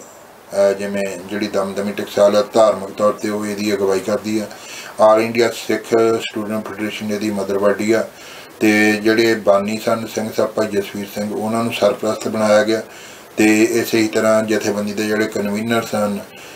ਉਹ ਭਾਈ ਲਖਵੀਰ ਸਿੰਘ ਜੀ ਰੋਡੇ, ਉਹ ਵੀ ਸੰਤ ਜਨਰਲ ਸਿੰਘ ਖਾਲਸਾ ਪਿੰਡਰਾ ਵਾਲਿਆਂ ਦੇ ਭਤੀਜੇ ਉਹਨਾਂ ਨੂੰ ਬਣਾਇਆ ਗਿਆ। ਇਸ ਤਰ੍ਹਾਂ ਇਹ ਜਥੇਬੰਦੀ ਜਿਹੜੀ ਚੱਲਦੀ ਗਈ, ਜਿਵੇਂ ਮੈਂ ਇਹ ਵੀ ਦੱਸ ਸਕਿਆ ਪਹਿਲਾਂ ਕਿ ਤਕਰੀਬਨ ਇਹ ਜਥੇਬੰਦੀ ਦੇ ਵਿੱਚ ਥੋੜੀ ਜਿਹੀ ਉਸ ਵਿੱਚ, ਅਹ ਮਨਮਟਾਵ ਹੋ ਗਿਆ ਤੇ ਜਥੇਬੰਦੀ ਦੇ ਕੁਝ ਹਿੱਸੇ ਬਣ ਗਏ, ਜਿਵੇਂ ਸੌਤ ਦੇ ਵਿੱਚ, ਅਹ ਉਥੋਂ ਸੌਤਲ ਦੇ ਗੁਰਦੁਆਰੇ ਦੇ ਝਗੜੇ ਨੂੰ ਲੈ ਕੇ ਜਾਂ ਉਸ ਵਿੱਚ ਕਈ ਗੱਲਾਂ ਸਨ ਜਿਨ੍ਹਾਂ ਨੂੰ ਲੈ ਕੇ ਦੋ ਹਿੱਸੇ ਬਣ ਗਏ ਤੇ ਇਸ ਤਰ੍ਹਾਂ ਜਥੇਬੰਦੀ ਫਿਰ ਵੀ ਉਹ ਵੀ ਜਿੱਥੇ ਜਿੱਥੇ ਜਿਹੜੀਆਂ ਬਾਕੀ ਵੀ ਪਾਰਟ ਸਨ ਜਥੇਬੰਦੀ ਦੇ ਗਰੁੱਪ ਸਨ, ਉਹ ਆਪਣਾ ਆਪਣਾ ਕੰਮ ਕਰਦੇ ਰਹੇ ਆ। ਤੇ ਜਿਵੇਂ ਭਾਈ ਬਲਵਿੰਦਰ ਸਿੰਘ ਝੇੜੂ, ਉਹਨਾਂ ਦੀ ਜਿਹੜੀ ਜਥੇਬੰਦੀ, ਉਹਨਾਂ ਨਾਲ ਸਿੱਧਾ ਸੰਬੰਧ ਜਿਹੜਾ ਮਤਲਬ ਉਸ ਵੇਲੇ ਦੇ ਦਮਦਮੀ ਟਕਸਾਲ ਦੇ ਨਾਲ ਉਹ ਸਿੱਧਾ ਆਪਣੇ ਤੌਰ ਤੇ ਕਿਉਂਕਿ ਭਾਈ ਮਨਵੀਰ ਸਿੰਘ ਜੀ ਚਹੇੜੂ ਜਿਹੜੇ ਜਥੇਬੰਦੀ ਦੇ, ਤੁਹਾਨੂੰ ਪਤਾ, ਖਾਲਿਸਤਾਨ ਕਮਾਂਡੋ ਫੋਰਸ ਦੇ ਜਨਰਲ ਹੋਇਆ ਉਹ ਇਸ ਪਰਿਵਾਰ ਨਾਲ ਸੰਬੰਧ ਰੱਖਦੇ ਆ। ਉਹਨਾਂ ਨੇ ਉਹਨਾਂ ਦੇ ਨਾਲ ਸਿੱਧਾ ਸੰਬੰਧ ਕੀਤਾ ਤੇ ਜਥੇਬੰਦੀ ਦਾ ਜਿਹੜਾ ਇੱਕ ਹਿੱਸਾ, ਉਹ ਇਸ ਤਰ੍ਹਾਂ ਵਿਚੜਿਆ ਸੀ। ਤੇ, ਵਿੱਚ ਬਹੁਤ ਵਾਰੀ ਆਪਸ ਵਿੱਚ ਕਈ ਲੜਾਈ ਝਗੜੇ ਵੀ ਹੋਏ ਆ, ਕਈ ਕੁਛ ਹੀ ਹੋਇਆ, ਲੇਕਿਨ ਫਿਰ ਵੀ ਕਿ ਕਦੀ ਵੀ ਕਿਸੇ ਸਿੰਘ ਨੇ ਇੱਕ ਦੂਸਰੇ ਨੂੰ ਇਦਾਂ ਨਹੀਂ ਕਿਹਾ ਕਿ ਮਤਲਬ ਇਹ ਪੰਥਕ ਨਹੀਂਗਾ ਜਾਂ ਆ ਇਦਾਂ ਆ। ਤੇ ਬਹੁਤ ਵਧੀਆ ਤਰੀਕੇ ਨਾਲ ਜਿਹੜੇ ਆ, ਅਹ ਕੰਮਕਾਰ ਕਰਦੇ ਰਹੇ। ਤੇ ਜਿਵੇਂ ਮੈਂ ਗੱਲ ਕੀਤੀ, ਤਕਰੀਬਨ 7-8 ਸਾਲ ਜਿਹੜਾ ਸਿੰਘ ਸਾਹਿਬ ਨੂੰ ਜੇਲ੍ਹ 'ਚ ਵੀ ਰਹਿਣਾ ਪਿਆ। ਤੇ 1986 ਦੇ ਵਿੱਚ ਉੱਥੇ ਪੰਜਾਬ ਦੇ ਵਿੱਚ ਸ੍ਰੀ ਅਕਾਲ ਤਖਤ ਦੇ ਸਾਹਵੇ ਸ੍ਰੀ ਜਿਹੜਾ ਸਰਬੱਤ ਖਾਲਸਾ ਜਿਹੜਾ ਹੋਇਆ, ਉਹ ਸਰਬੱਤ ਖਾਲਸੇ ਅਹ, ਦੌਰਾਨ ਹੀ ਜਿਵੇਂ ਤੁਹਾਨੂੰ ਪਤਾ ਕਿ ਖਾੜਕੂ ਜਥੇਬੰਦੀਆਂ ਉਹਨਾਂ ਨੂੰ ਪੰਥ ਕਮੇਟੀ ਚੁਣੀ ਗਈ ਤੇ ਨਾਲ ਜਿਹੜੇ ਸਿੰਘ ਸਾਹਿਬ ਭਾਈ ਜਸਵੀਰ ਸਿੰਘ, ਇਹਨਾਂ ਨੂੰ ਸ੍ਰੀ ਅਕਾਲ ਤਖਤ ਸਾਹਿਬ ਦੇ ਜਥੇਦਾਰ ਚੁਣਿਆ ਗਿਆ। ਇਹਨਾਂ ਨੂੰ ਜਿੰਨਾ ਚਿਰ ਜੇਲ੍ਹ 'ਚ ਸਨ, ਇਹਨਾਂ ਦੀ ਜਗ੍ਹਾ ਦਮਦਮੀ ਟਕਸਾਲ ਨਾਲ ਸੰਬੰਧਿਤ ਸਿੰਘ ਸਾਹਿਬ ਭਾਈ ਗੁਰਦੇਵ ਸਿੰਘ ਸਿੰਘ ਜੀ ਕੌਂਕੇ ਉਹਨਾਂ ਨੂੰ ਐਕਟਿੰਗ ਜਥੇਦਾਰ ਚੁਣਿਆ ਗਿਆ ਸੀਗਾ। ਸੋ ਇਹ ਜਿਹੜੀ ਉਧਰ ਗੱਲਬਾਤ ਹੋਈ, ਇਸੇ ਹੀ ਤਰ੍ਹਾਂ ਜਥੇਬੰਦੀ ਆਪਣੇ, ਅਹ ਕੰਮਕਾਰ ਕਰਦੀ ਰਹੀ ਤੇ ਭਾਈ ਤਰਸੇਮ ਸਿੰਘ ਜੀ ਤੋਂ ਬਾਅਦ ਭਾਈ ਅਮਰੀਕ ਸਿੰਘ ਜੀ ਗਿੱਲ, ਉਹ ਜਿਹੜੇ ਆ ਮਤਲਬ ਇੰਟਰਨੈਸ਼ਨਲ ਸਿੱਖ ਯੂਥ ਫੈਡਰੇਸ਼ਨ ਦੇ ਪ੍ਰਧਾਨ ਬਣੇ ਤੇ ਬਹੁਤ ਵਾਰ ਮੈਂ ਖੁਦ ਵੀ ਜਿੱਦਾਂ ਪੈਨਲ ਦੇ ਵਿੱਚ ਰਿਹਾ ਜਨਰਲ ਸਕੱਤਰ ਦੇ ਅਹੁਦੇ ਤੇ ਵੀ ਰਿਹਾ ਤੇ ਪ੍ਰੈਸ ਸਕੱਤਰ ਵੀ ਰਿਹਾ ਤੇ ਹੋਰ ਵੀ ਜਿਹੜੇ ਸਿੰਘ ਜਿੱਦਾਂ ਜਿਨ੍ਹਾਂ ਨੇ ਜਥੇਬੰਦੀ ਦੇ ਨਾਲ ਚਟਾਨ ਬੰਗ ਕੰਮ ਕੀਤਾ, ਜਿਵੇਂ ਭਾਈ ਹਰਦੀਪ ਸਿੰਘ ਜੀ ਬੁਲਵਰਪਟਨ ਤੋਂ ਆ, ਭਾਈ ਪਰਮਜੀਤ ਸਿੰਘ ਜੀ, ਬੈਂਸਫੀਲਡ ਤੋਂ ਆ, ਤੇ ਭਾਈ ਸਾਡੇ ਬਹੁਤ ਹੀ ਸਤਿਕਾਰਯੋਗ ਜਨਕ ਸਿੰਘ ਜੀ, ਨੋਡੀਗਮ ਤੋਂ ਹੁੰਦੇ ਸਨ, ਬਹੁਤ ਧਾਰਮਿਕ ਤੌਰ ਤੇ ਜਿਹੜਾ ਉਹਨਾਂ ਨੇ ਮਤਲਬ ਯੋਗਦਾਨ ਪਾਇਆ, ਲੇਕਿਨ ਉਹ ਵੀ ਜਦੋਂ ਹੇਮਕੁੰਟ ਸਾਹਿਬ ਯਾਤਰਾ ਤੇ ਗਏ ਸਨ ਤੇ ਉਹ ਵੀ ਸਦੀਵੀ ਵਿਛੋੜਾ ਦੇਗਾ। ਜੇ ਆਪਾਂ ਇਕੱਲੇ ਇਕੱਲੇ ਸ਼ਹਿਰ ਦਾ ਨਾਂ ਲਈਏ, ਬਹੁਤ ਸਿੰਘ ਅੱਜ ਵੀ ਹੈਗੇ ਆ, ਜਿਹੜੇ ਜਥੇਬੰਦੀ ਤੋਂ ਜਿਵੇਂ ਭਾਈ ਬਲਵੀਰ ਸਿੰਘ ਜੀ ਰੰਧਾਵਾ ਹਡਸਪੀਲ ਤੋਂ ਸਨ ਹਮੇਸ਼ਾ ਹੀ ਨਾਲ ਭਾਈ ਜਰਨੈਲ ਸਿੰਘ ਨਿਊਕਾਸਲ ਤੇ ਇਹਨਾਂ ਦੇ ਨਾਲ ਭਾਈ ਦਿਲਵਾਗ ਸਿੰਘ ਜੀ ਤੇ ਹੋਰ ਕਾਫੀ ਜਿੱਦਾਂ ਮਾਨ ਸਾਹਿਬ ਆ, ਉਹ ਨਿਊਕਾਸਲ ਤੋਂ ਸਿੰਘ ਜਿਹੜੇ ਪਹਿਲਾਂ ਸ਼ੁਰੂਆਤ ਦੇ ਵਿੱਚ ਭਾਈ ਤਰਸੇਮ ਸਿੰਘ ਉਹਨਾਂ ਦੇ ਨਾਲ। ਜਿਹੜੇ ਆਉਂਦੇ ਸਨ ਬਹੁਤ ਜਿੱਦਾਂ ਜਥੇਬੰਦੀਆਂ ਭਾਈ ਤਰਸਨ ਸੁਰਿੰਦਰਪਾਲ ਬਾਬਾ ਜੀ ਦੀ ਮੈਂ ਗੱਲ ਕੀਤੀ ਆ ਵੀ ਉਹ ਪਹਿਲਾਂ ਇੱਥੇ ਵਾਲਸਰ ਰਹਿੰਦੇ ਸਨ ਫਿਰ ਨਿਊ ਕੈਸਲ ਚਲੇ ਗਏ ਸਨ। ਤੇ ਕਾਫੀ ਸਿੰਘਾਂ ਨੇ ਮਤਲਬ ਜਿਨ੍ਹਾਂ ਨੇ ਜਥੇਬੰਦੀ ਦੇ ਵਿੱਚ ਅਹ, ਤੋਂ ਜਿੱਦਾਂ ਭਾਈ ਮਲਕੀਤ ਸਿੰਘ ਜੀ ਤੇਂਗ ਤੇ ਹੋਰ ਬਹੁਤ ਸਾਰੇ ਸਿੰਘ ਜਥੇਦਾਰ ਹਰਭਜਨ ਸਿੰਘ ਜੀ ਜਿਨ੍ਹਾਂ ਨੇ ਮਤਲਬ ਬਹੁਤ ਕੰਮ ਕੀਤਾ। ਜਥੇਬੰਦੀ ਨੇ ਸ਼ੁਰੂਆਤ ਦੇ ਵਿੱਚ ਆਵਾਜ਼ੇ ਕੌਮ ਅਖਬਾਰ ਜਿਹੜਾ ਤਕਰੀਬਨ ਮੇਰਾ ਖਿਆਲ ਹੈ ਵੀ 19 ਅਹ 1986 ਦੇ ਵਿੱਚ ਹੀ ਜਿਹੜਾ ਸਾਊਥ ਹਾਲ ਤੋਂ ਸ਼ੁਰੂ ਕੀਤਾ। ਜਿਹਦਾ ਪਹਿਲਾ ਟਾਈਟਲ ਜਿਹੜਾ ਸੀਗਾ, ਉਹ ਬਾਬਾ ਜੋਗਿੰਦਰ ਸਿੰਘ ਦੀ ਫੋਟੋ ਲੱਗੀ ਹੋਈ ਹੈ ਉੱਪਰ ਤੇ ਸੰਤਾਂ ਦੇ ਪਚੰਗੀਆਂ ਦੀ ਨਾਲ ਫੋਟੋ ਲੱਗੀ ਹੋਈ ਹੈ। ਤੇ ਉਹ ਜਿਹੜਾ ਉੱਥੋਂ ਸ਼ੁਰੂ ਕੀਤਾ ਗਿਆ, ਜਿਹੜੇ ਅਖਬਾਰ ਦੇ, ਅਹ ਪਹਿਲਾਂ ਐਡੀਟਰ ਆ, ਮੈਨੂੰ ਪੂਰਾ ਤੇ ਯਾਦ ਨਹੀਂ, ਸ਼ਾਇਦ ਗੁਰਬਚਨ ਸਿੰਘ ਪਹਿਲਾਂ ਪੰਜਾਬ ਟਾਈਮ ਦੇ ਵਿੱਚ ਹੁੰਦੇ ਸਨ। ਉਹਨਾਂ ਨੂੰ ਲਗਾਇਆ ਗਿਆ ਸੀ। ਫਿਰ ਇਹਦੇ ਐਡੀਟਰ ਬਲਿਆਰ ਸਿੰਘ ਰੰਧਾਵਾ ਵੀ ਰਹੇ ਆ ਯਾਦਵਿੰਦਰ ਸਿੰਘ ਜਿਹੜੇ ਗਰੇਵ ਆਪਣੇ ਗਰੇਵਜੈਂਟ ਤੋਂ ਆ, ਉਹ ਵੀ ਰਹੇ ਆ ਤੇ ਗੁਰਦੀਪ ਸਿੰਘ ਜਿਹੜੇ ਆਪਣੇ ਗੁਰਦੀਪ ਸਿੰਘ ਸੰਧੂ ਉਹ ਵੀ ਬਹੁਤ ਸਮਾਂ ਜਿਨ੍ਹਾਂ ਜਿਨ੍ਹਾਂ ਨੇ ਕੰਮ ਕੀਤਾ ਆਪਣੇ ਸੁਖਵਿੰਦਰ ਸਿੰਘ ਸੰਧੂ ਜਿਹੜੇ ਅੱਜ ਕੱਲ ਬੁਲਵਰਹੈਪਟਨ ਰਹਿੰਦੇ ਆ ਉਹਨਾਂ ਨੇ ਵੀ ਬਹੁਤ ਮਤਲਬ ਇਹ ਜਥੇਬੰਦੀ ਦੇ ਵਿੱਚ ਜਿੱਦਾਂ ਮਤਲਬ ਜਿਹੜਾ ਇਸ ਅਖਬਾਰ ਦੇ ਨਾਲ ਰਲ ਕੇ ਵੀ ਵੈਸੇ ਵੀ ਜਥੇਬੰਦੀ ਦੇ ਪੈਨਲ ਮੈਂਬਰਾਂ ਦੇ ਵਿੱਚ ਉਹ ਆਉਂਦੇ ਰਹੇ ਆ। ਤੇ ਬਹੁਤ ਉਹਨਾਂ ਨੇ ਜਥੇਬੰਦੀ ਦਾ ਬਹੁਤ ਮਤਲਬ ਜੋਸ਼ ਹੁੰਦਾ ਸੀਗਾ ਜਥੇਬੰਦੀ ਦੇ ਵਿੱਚ ਕਿ ਜਥੇਬੰਦੀ ਨੂੰ ਕਿੱਦਾਂ ਚੜ੍ਹਦੀ ਕਲਾ ਦੇ ਵਿੱਚ ਲਿਜਾਣਾ। ਤੇ ਚੱਲਦੇ ਚਲਾਉਂਦੇ ਜੇ ਆਪਾਂ ਇਹ ਕਹਿ ਲਈਏ ਕਿ 1999 ਤੱਕ ਜਦੋਂ ਜਥੇਬੰਦੀ ਆ ਜਾਂਦੀ ਆ ਉਦੋਂ ਤੱਕ ਜਥੇਬੰਦੀ ਦੇ ਆਗੂਆਂ ਦਾ ਜਾਂ ਕੋਈ ਆਪਸ ਵਿੱਚ ਇਦਾਂ ਦੀ ਕੋਈ ਗੱਲ ਨਹੀਂ ਹੁੰਦੀ। ਬਾਬਾ ਅਹ, ਠਾਕਰ ਸਿੰਘ ਜੀ ਜਿਹੜੇ ਦਮਦਮੀ ਟਕਸਾਲ ਦੇ ਉਸ ਵੇਲੇ ਮਤਲਬ ਕਾਰਜਕਾਰੀ ਮੁਖੀ ਸਨ, ਉਹ ਇੱਥੇ ਇੰਗਲੈਂਡ ਆਉਂਦੇ ਆ। ਤੇ ਉਦੋਂ ਫਿਰ ਗੱਲਬਾਤ ਚੱਲਦੀ ਆ, ਉਦੋਂ ਪਹਿਲਾਂ ਇੱਕ ਸਮਾਂ ਆਉਂਦਾ ਆ ਕਿ ਜਿਹੜਾ ਸਾਊਥ ਹਾਲ ਵਾਲਾ ਹਿੱਸਾ ਜਿਹੜਾ ਗਰੁੱਪ ਆ, ਉਹਨਾਂ ਦੇ ਨਾਲ ਗੱਲਬਾਤ ਚੱਲ ਕੇ ਉਹ ਜਥੇਬੰਦੀ ਦੇ ਵਿੱਚ ਜਿੱਦਾਂ ਸ਼ਾਮਲ ਹੋ ਜਾਂਦੇ ਆ, ਪਰਮਿੰਦਰ ਸਿੰਘ ਬੱਲ ਵੀ ਤੇ ਨਰਿੰਦਰਜੀਤ ਸਿੰਘ ਜੀ ਸਾਰਾ ਉਹ ਜਿਹੜਾ ਗਰੁੱਪ ਆ ਜਾਂਦਾ। ਲੇਕਿਨ ਕੁਝ ਸਮਾਂ ਪਾ ਕੇ ਬਾਅਦ ਚ ਜਿਹੜੇ ਪਰਮਿੰਦਰ ਸਿੰਘ ਬੱਲ ਆ, ਉਹ ਫਿਰ ਵੱਖਰੇ ਰਹਿ ਜਾਂਦੇ ਆ। ਭਾਈ ਨਰਿੰਦਰਜੀਤ ਸਿੰਘ ਜੀ ਅੱਜ ਵੀ ਜਿੱਦਾਂ ਉਹ ਜਿੱਦਾਂ ਜਿਹੜੀ ਉਸ ਵੇਲੇ ਜਥੇਬੰਦੀ ਸੀ ਉਹਦੇ ਵਿੱਚ ਹੀ ਆ। ਹੁਣ ਉਹ ਸਿੱਖ ਫੈਡਰੇਸ਼ਨ ਯੂਕੇ ਦੇ ਨਾਂ ਤੇ ਵਿਚਰਦੇ ਆ। ਤੇ ਉਦੋਂ ਬਾਅਦ ਜਦੋਂ ਇਹ ਗੱਲਾਂ ਬਾਤਾਂ ਹੁੰਦੀਆਂ ਤੇ ਇਹ ਗੱਲ ਚੱਲਦੀ ਆ ਕਿ ਜਿਹੜਾ ਦਮਦਮੀ ਟਕਸਾਲ ਨਾਲ ਸੰਬੰਧਿਤ ਗਰੁੱਪ ਆ, ਇਹਨੂੰ ਵੀ ਨਾਲ ਜੋੜਿਆ ਜਾਵੇ। ਬਾਬਾ ਠਾਕਰ ਸਿੰਘ ਜੀ ਆ ਕੇ ਸਾਰੇ ਗਰੁੱਪਾਂ ਨੂੰ ਬਿਠਾ ਕੇ ਏਕਤਾ ਕਰਾ ਦਿੰਦੇ ਆ। ਏਕਤਾ ਹੋ ਜਾਂਦੀ ਆ, ਉਹ ਵੀ ਏਕਤਾ ਕਾਫੀ ਸਮਾਂ ਚੱਲਦੀ ਆ। ਤੇ ਲੇਕਿਨ ਬਾਅਦ ਦੇ ਵਿੱਚ ਉਹ ਵੀ ਜਿਹੜਾ ਤਕਰੀਬਨ ਜਿਹੜਾ ਗਰੁੱਪ ਭਾਈ ਆਪਾਂ ਉਹ ਧਰਮ ਯੁੱਧ ਜਥੇ ਦੇ ਨਾਂ ਤੇ ਇਸ ਲਈ ਵਿਚਰਦੇ ਆ। ਉਹਨਾਂ ਨੇ ਜਿਹੜਾ ਇੰਟਰਨੈਸ਼ਨਲ ਸਿੱਖ ਯੂਥ ਫੈਡਰੇਸ਼ਨ ਕਿਉਂਕਿ ਅਹ, ਮੇਰੇ ਖਿਆਲ 2002 ਦੇ ਵਿੱਚ ਇੱਥੇ ਕ ਜਦੋਂ ਸਮਾਂ ਜਦੋਂ ਜਿਹੜਾ ਜਥੇਬੰਦੀ ਜਿਹੜੀ ਆ ਉਹ ਬੈਨ ਹੋ ਜਾਂਦੀ ਹੈ ਬੈਨ ਜਦੋਂ ਅਮਰੀਕਾ ਦੇ ਵਿੱਚ ਅਹ, ਜਦੋਂ ਜਿਹੜਾ ਵਰਲਡ ਟ੍ਰੇਡ ਆ ਉੱਤੇ ਜਦੋਂ ਬੰਬ ਧਮਾਕੇ ਹੁੰਦੇ ਆ ਜਾਂ ਉਹਨੂੰ ਉਡਾ ਦਿੱਤਾ ਜਾਂਦਾ ਉਸ ਤੋਂ ਬਾਅਦ ਅਹ, ਜਿਵੇਂ ਬੱਬਰ ਖਾਲਸਾ ਇੰਟਰਨੈਸ਼ਨਲ ਉਹਨੂੰ ਵੀ ਬੈਨ ਕਰ ਦਿੱਤਾ ਜਾਂਦਾ ਤੇ ਇੰਟਰਨੈਸ਼ਨਲ ਸਿੱਖ ਯੂਥ ਫੈਡਰੇਸ਼ਨ ਨੂੰ ਵੀ ਜਿਹੜਾ ਬੈਨ ਕਰ ਦਿੱਤਾ ਜਾਂਦਾ। ਉਸ ਤੋਂ ਬਾਅਦ ਜਿਹੜੇ ਭਾਈ ਬਰੀਕ ਸਿੰਘ ਆ ਉਹਨਾਂ ਨੇ ਜਿੱਦਾਂ ਜਥੇਬੰਦੀ ਦਾ ਜਿੱਦਾਂ ਬਹੁਤ ਮੀਟਿੰਗਾਂ ਵੀ ਹੋਈਆਂ ਕਿਉਂਕਿ ਮੈਂ ਉਸ ਗੱਲ 'ਚ ਨਹੀਂ ਜਾਣਾ ਕਿਉਂਕਿ ਅੱਜ ਇੰਟਰਨੈਸ਼ਨਲ ਸਿੱਖ ਯੂਥ ਫੈਡਰੇਸ਼ਨ ਦੀ ਜਿਹੜੀ ਬਰੇਗਣ ਦੀ ਗੱਲ ਕਰਦੇ ਆ ਆਪਾਂ ਉਹਦੀ ਗੱਲ ਕਰਨੀ ਆ ਕੌਣ ਵਿਅਕਤੀ ਕੀ ਕਰਦਾ ਆ, ਉਹ ਆਪਣੇ ਤੌਰ ਤੇ ਕਿਵੇਂ ਵਿਚਰਦਾ, ਉਹਨੂੰ ਆਜ਼ਾਦੀ ਆ, ਉਹ ਵਿਚਰ ਸਕਦਾ। ਤੇ ਜਿਵੇਂ ਉਸ ਤੋਂ ਬਾਅਦ ਕੁਝ ਸਮਾਂ ਤਾਂ ਜਥੇਬੰਦੀ ਦੇ ਸਿੰਘ ਵੈਸੇ ਹੀ ਬਗੈਰ ਨਾਂ ਤੋਂ ਵਿਚਰਦੇ ਆ। ਤੇ ਉਹ ਵਿੱਚ ਫੇਰ ਗੱਲਾਂ ਚੱਲਦੀਆਂ ਕਿ ਅਸੀਂ ਨਵੀਂ ਜਥੇਬੰਦੀ ਬਣਾ ਸਕਦੇ ਹਾਂ, ਪਰ ਉਹਦੇ ਵਿੱਚ ਜਿਹੜੇ ਸਿੰਘ ਸਾਹਿਬ ਆਪਣੇ ਬਾਨੀ ਹੈ ਜਥੇਬੰਦੀ ਦੇ, ਉਹਨਾਂ ਨੂੰ ਨਹੀਂ ਵਿੱਚ ਰੱਖ ਸਕਦੇ। ਇਹ ਇੱਕ ਬਹੁਤ ਜਿੱਦਾਂ ਡੂੰਗੀ ਚਾਲ ਸੀਗੀ, ਜਿਹਨੂੰ ਮਤਲਬ ਨੌਜਵਾਨਾਂ ਦੇ ਵਿੱਚ ਇਸ ਤਰੀਕੇ ਨਾਲ ਲਿਆਂਦਾ ਗਿਆ, ਇਸ ਤਰੀਕੇ ਨਾਲ ਰੱਖਿਆ ਗਿਆ ਕਿ ਜਿਹੜਾ ਹਰ ਬੰਦਾ ਇਦਾਂ ਸੋਚੇ ਵੀ ਹਾਂ, ਅਸੀਂ ਤਾਂ ਉਹਨਾਂ ਦਾ ਸਤਿਕਾਰ ਬਹੁਤ ਕਰਦੇ ਹਾਂ, ਪਰ ਅਸੀਂ ਉਹਨਾਂ ਦਾ ਨਾਂ ਨਹੀਂ ਲਿਖ ਸਕਦੇ। ਹਾਲਾਂਕਿ ਉਹ ਪੰਜਾਬ ਦੇ ਵਿੱਚ ਮਤਲਬ ਸ਼ਰੇਆਮ ਵਿਚਰਦੇ ਹੀ ਨਾ ਤੋਂ ਰਿਪੋਰਟ ਸਨ, ਨਾ ਉਹ ਮੈਦਾਨੇ ਜੰਗ ਦੇ ਵਿੱਚ ਸਨ, ਤੇ ਜਿਹੜਾ ਉਹਨਾਂ ਦਾ ਨਾਂ ਨਹੀਂ ਲਿਖ ਸਕਦੇ। ਤੇ ਉਦੋਂ ਬਾਅਦ ਸਿੱਖ ਫੈਡਰੇਸ਼ਨ ਯੂਕੇ ਬਣਦੀ ਆ, ਤੇ ਜਿਹੜਾ ਇੰਟਰਨੈਸ਼ਨਲ ਸਿੱਖ ਯੂਥ ਫੈਡਰੇਸ਼ਨ ਆ ਉਹਦਾ ਜਿਹੜਾ ਬਾਨੀ ਆ, ਉਹਦੇ ਜਿਹੜੇ ਆਗੂ ਆ, ਉਹਨਾਂ ਦੇ ਨਾਲੋਂ ਭਾਈ ਅਮਰੀਕ ਸਿੰਘ ਗਿੱਲ ਜਾਂ ਜਿਹੜੀ ਉਹਨਾਂ ਦੀ ਜਥੇਬੰਦੀ ਆ, ਸਿੱਖ ਫੈਡਰੇਸ਼ਨ ਯੂਕੇ, ਉਹ ਪੂਰੀ ਤਰ੍ਹਾਂ ਜਿਹੜਾ ਆਪਣਾ ਨਾਤਾ ਤੋੜ ਲੈਂਦੀ ਆ। ਇੱਥੋਂ ਤੱਕ ਕਿ ਕੁਝ ਸਮਾਂ ਬਾਅਦ ਜਿਹੜਾ ਉਹ ਦਮਦਮ ਟਕਸਾਲ ਦੇ ਨਾਲੋਂ ਵੀ ਆਪਣਾ ਨਾਤਾ ਤੋੜ ਲੈਂਦੇ ਆ। ਤੇ ਇਸ ਤਰ੍ਹਾਂ ਉਹ ਆਪਣੇ ਤਰੀਕੇ ਨਾਲ ਵਿਚਰਦੇ ਆ, ਬਹੁਤ ਕੋਸ਼ਿਸ਼ਾਂ ਹੋਈਆਂ, ਬੜਾ ਕੁਝ ਹੋਇਆ। ਤੇ ਕਈ ਜਿੱਦਾਂ ਮਤਲਬ ਵਾਧੇ ਘਾਟੇ ਵੀ ਹੋਏ ਆ ਇੱਕ ਦੂਸਰੇ ਨੂੰ ਮੈਨੂੰ ਵੀ ਇਹ ਕਿਹਾ ਗਿਆ ਕਿ ਹਾਂ ਤੂੰ ਚੁੱਪ ਕਰਕੇ ਬਹਿ ਜਾ, ਮੈਂ ਪਿੱਛੇ ਵੀ ਹਟਿਆ ਰਿਹਾ ਕਈ ਸਾਲ ਤੇ ਬਹੁਤ ਸ਼ਹਿਰਦ ਸਿੰਘਾਂ ਨੇ ਕੋਸ਼ਿਸ਼ ਵੀ ਕੀਤੀ ਹੈ। ਦੋ ਤਿੰਨ ਵਾਰੀ ਜਿਹੜੇ ਆ ਫੈਸਲੇ ਵੀ ਹੋਏ ਸਮਝੌਤੇ ਵੀ ਹੋਏ ਕਿ ਜਥੇਬੰਦੀ ਦੀ ਏਕਤਾ ਹੋ ਗਈ ਆ। ਕੈਪਟਨ ਹਰਚੰਦ ਸਿੰਘ ਜੀ ਰੋਡੇ, ਉਹ ਵੀ ਇੰਗਲੈਂਡ ਦੇ ਵਿੱਚ ਆਏ, ਉਹਨਾਂ ਨੇ ਕੋਸ਼ਿਸ਼ ਕੀਤੀ ਆ, ਮੀਟਿੰਗਾਂ ਕੀਤੀਆਂ, ਲਸਟਰ ਦੇ ਵਿੱਚ ਹੋਈਆਂ, ਬਹੁਤ ਥਾਵਾਂ ਤੇ ਹੋਈਆਂ। ਤੇ ਦੋ ਤਿੰਨ ਮਹੀਨੇ ਦਾ ਜਾਂ ਕਈ ਵਾਰੀ ਦੋ ਤਿੰਨ ਹਫ਼ਤਿਆਂ ਦਾ ਸਮਾਂ ਲੈ ਕੇ ਉਹ ਅੱਜ ਤੱਕ ਜਿਹੜਾ ਸਮਾਂ ਨਹੀਂ ਆਇਆ ਮੁੜ ਕੇ, ਨਾ ਉਹ ਗੱਲਬਾਤ ਹੋਈ। ਤੇ ਫਿਰ ਚੱਲਦੇ ਚਲਾਉਂਦੇ ਜਿੱਦਾਂ ਸਮਾਂ ਬੀਤਦਾ ਗਿਆ ਤੇ ਜਿਹੜੇ ਜਥੇਬੰਦੀ ਦੇ ਸਿੰਘ ਜਥੇਬੰਦੀ ਦੇ ਨਾਲ ਹੀ ਸਨ ਤੇ ਜਿਹੜੀ ਜਥੇਬੰਦੀ ਦੀ ਲੀਡਰਸ਼ਿਪ ਆ, ਉਹਦੇ ਨਾਲ ਸਨ। ਲੀਡਰਸ਼ਿਪ ਦਾ ਮਤਲਬ ਭਾਵ ਆ, ਜਿਹੜੇ, ਜਿਨ੍ਹਾਂ ਨੇ ਜਥੇਬੰਦੀ ਬਣਾਈ ਆ, ਉਹ ਨਾ ਕਿ ਇੱਕ ਦੇਸ਼ ਦਾ ਪ੍ਰਧਾਨ ਜਿਹੜਾ ਉਹ ਮਤਲਬ ਉਹ ਲੀਡਰ ਹੋ ਜਾਂਦਾ। ਤੇ ਉਹਨਾਂ ਨੂੰ ਜਿੱਦਾਂ ਪਹੁੰਚ ਕੀਤੀ ਗਈ, ਸਿੰਘਾਂ ਨੇ ਕਿਹਾ ਕਿ ਜਾਂ ਤਾਂ ਜਿੱਦਾਂ ਬਿਲਕੁਲ ਖਤਮ ਕਰ ਦਿਓ, ਜਾਂ ਫਿਰ ਜਥੇਬੰਦੀ ਤੁਸੀਂ ਜਿਹੜੀ ਮਤਲਬ ਹਾਲੇ ਬੈਨ ਲੱਗਾ ਹੋਇਆ, ਜਿੰਨਾ ਚਿਰ ਨਹੀਂ ਖੁੱਲਦਾ ਬੈਨ ਜਾਂ ਕੋਈ ਗੱਲ ਨਹੀਂ ਹੁੰਦੀ,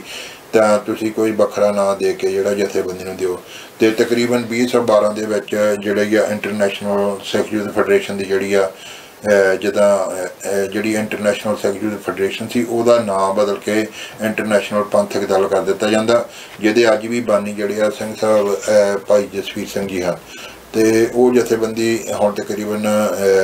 ਅੱਜ 2020 ਆ ਉਹਨਾਂ ਦੇ ਨਾਂ ਨਾਂ ਤੇ ਜਿਹੜਾ ਇੰਟਰਨੈਸ਼ਨਲ ਪੰਥਕ ਦਲ ਤੇ ਵਿਚਰਦੀ ਆ। ਇਹ ਗੱਲਾਂ ਤਾਂ ਕਰ ਰਹੇ ਬਹੁਤ ਲੋਕਾਂ ਨੂੰ ਭੁਲੇਖਾ ਆ ਕਿ ਸ਼ਾਇਦ ਜਿਹੜੀ ਇੰਟਰਨੈਸ਼ਨਲ ਸਿੱਖ ਫੈਡਰੇਸ਼ਨ ਆ, ਉਹਦੇ ਜਿਹੜਾ ਕਰਤਾ ਧਰਤਾ ਜੋ ਵੀ ਕੀਤਾ ਆ, ਉਹ ਸ਼ਾਇਦ ਭਾਈ ਅਮਰੀਕ ਸਿੰਘ ਜੀ ਗਿੱਲ ਜਿਹੜੇ ਹੁਣ ਵੀ ਪ੍ਰਧਾਨ ਆ, ਲੇਕਿਨ ਜਦੋਂ ਭਾਈ ਤਰਸੇਮ ਸਿੰਘ ਜੀ ਪ੍ਰਧਾਨ, ਵੱਧ ਤੋਂ ਵੱਧ 2 ਸਾਲ ਪ੍ਰਧਾਨ ਰੱਖੇ ਜਾਂਦੇ ਸਨ ਤੇ ਉਸ ਤੋਂ ਬਾਅਦ ਬਦਲ ਦਿੱਤੇ ਜਾਂਦੇ ਸਨ। ਲੇਕਿਨ ਚਲੋ, ਉਹ ਤਾਂ ਜਥੇਬੰਦੀ ਦੇ ਜਿਹੜੇ ਸਿੰਘ ਆ, ਜਿਹੜੇ ਉਹਨਾਂ ਨਾਲ ਵਿਚਰਦੇ ਆ, ਉਹਨਾਂ ਦਾ ਫੈਸਲਾ ਆ, ਉਹਨੇ ਕਿੰਨਾ ਚਿਰ ਰੱਖਣਾ, ਕਿਹਨੂੰ ਰੱਖਣਾ, ਕੀ ਕਰਨਾ ਆ, ਉਹ ਉਹਨਾਂ ਦਾ ਨਿੱਜੀ ਮਸਲਾ ਆ। ਉਹਦੇ ਵਿੱਚ ਮੈਂ ਦਖਲਅੰਦਾਜ਼ੀ ਨਹੀਂ ਕਰ ਸਕਦਾ, ਨਾ ਮੈਂ ਗੱਲ, ਪਰ ਉਹ ਉਦੋਂ ਤੋਂ ਹੀ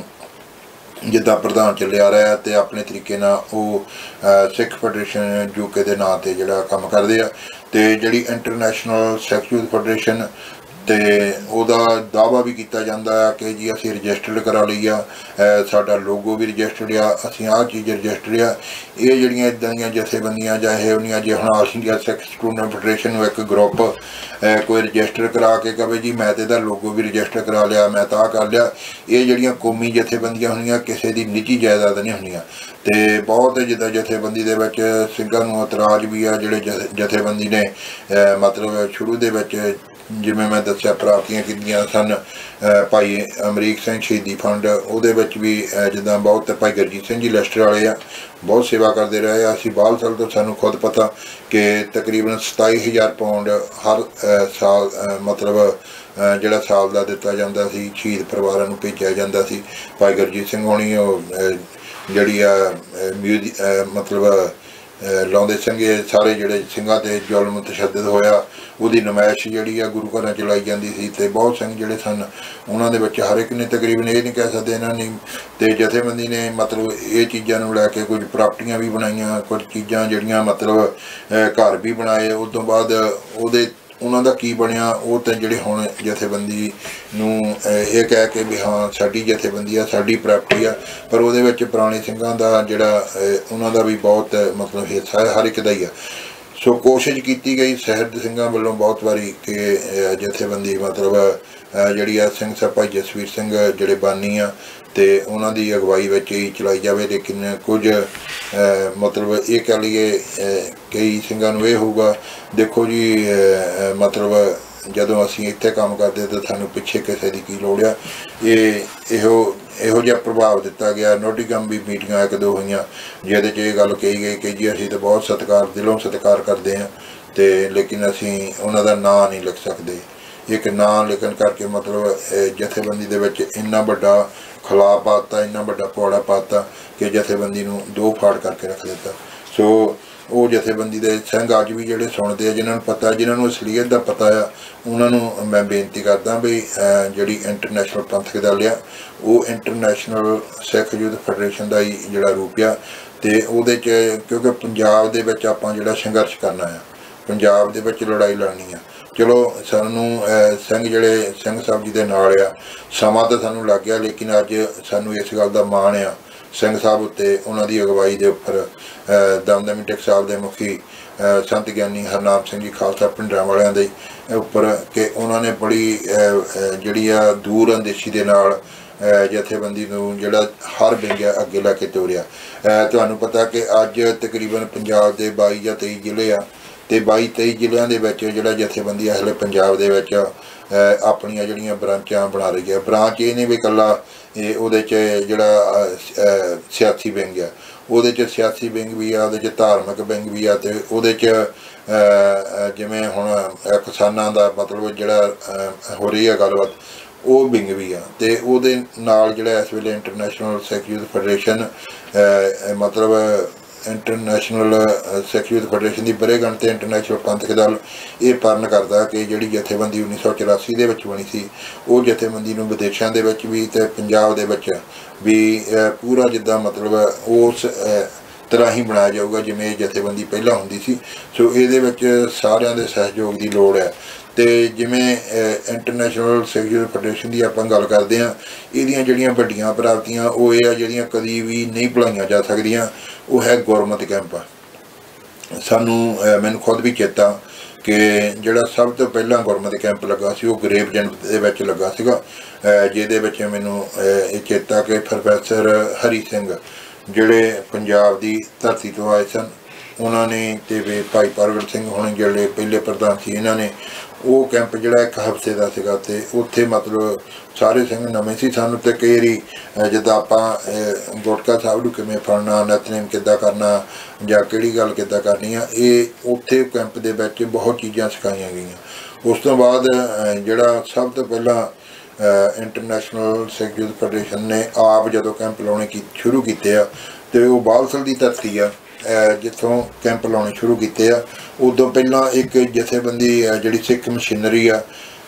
ਉਹ ਜਿੱਦਾਂ ਮਤਲਬ ਸਾਊਥ ਹਾਲ ਤੋਂ ਉਹਨਾਂ ਦਾ ਮਤਲਬ ਜਿਹੜੀ ਬ੍ਰਾਂਚ, ਉਹ ਤਕਰੀਬਨ ਸਾਲ 'ਚ ਇੱਕ ਕੈਂਪ ਲਾਇਆ ਕਰਦੀ ਸੀ। ਕਦੇ ਉਹ ਕਿਸੇ ਸ਼ਹਿਰ ਦੇ ਵਿੱਚ ਤੇ ਕਦੇ ਕਿਸੇ ਦੇ ਵਿੱਚ।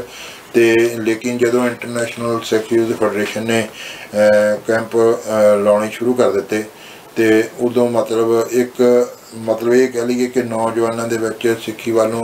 ਬਹੁਤ ਜ਼ਿਆਦਾ ਜਿਹੜੇ ਨੌਜਵਾਨ ਪ੍ਰੇਰਿਤ ਹੋਏ ਨੌਜਵਾਨ ਬੱਚੇ ਮਤਲਬ ਤਕਰੀਬਨ 6 ਸਾਲ ਦੀ ਉਮਰ ਤੋਂ ਲੈ ਕੇ 12 13 ਸਾਲ ਦੀ ਉਮਰ ਤੱਕ ਬੱਚਿਆਂ ਦਾ ਜਿਹੜਾ ਕੈਂਪ ਲਾਇਆ ਜਾਂਦਾ ਸੀ। ਉਦੋਂ ਬਾਅਦ ਉਹ ਬੱਚੇ ਜਦੋਂ ਵੱਡੇ ਹੋ ਗਏ ਉਹ ਬੱਚਿਆਂ ਨੇ ਮੈਨੂੰ ਚੇਤਾ ਵੀ ਬਾਲਸਲ ਦੇ ਵਿੱਚ ਕੁਲਵੰਤ ਸਿੰਘ ਤੇ ਜਤਿੰਦਰ ਸਿੰਘ। ਪਹਿਲਾਂ ਉਹ ਮਤਲਬ ਜਦੋਂ ਛੋਟੇ ਛੋਟੇ ਸੀਗੇ ਜਦੋਂ ਪਹਿਲਾ ਕੈਂਪ ਲੱਗਾ ਤਕਰੀਬਨ ਸਾਡੇ ਕੋਲ ਜਿੱਦਾਂ ਅਹ, 40 ਜਾਂ 45 ਬੱਚੇ ਜਿਹੜੇ ਉਸ ਕੈਂਪ ਦੇ ਵਿੱਚ ਆਏ ਸੀਗੇ। ਤੇ ਉਹ ਤਕਰੀਬਨ ਮੈਂ ਇਹ ਕਹਿ ਲਾਂ ਕਿ ਭਾਈ ਹਰਜਿੰਦਰ ਸਿੰਘ ਜੀ ਜਿਹੜੇ ਅੱਜ ਸਾਡੀ ਜਥੇਬੰਦੀ ਨਾਲ ਵੀ ਕੰਮ ਕਰਦੇ ਆ ਇੰਟਰਨੈਸ਼ਨਲ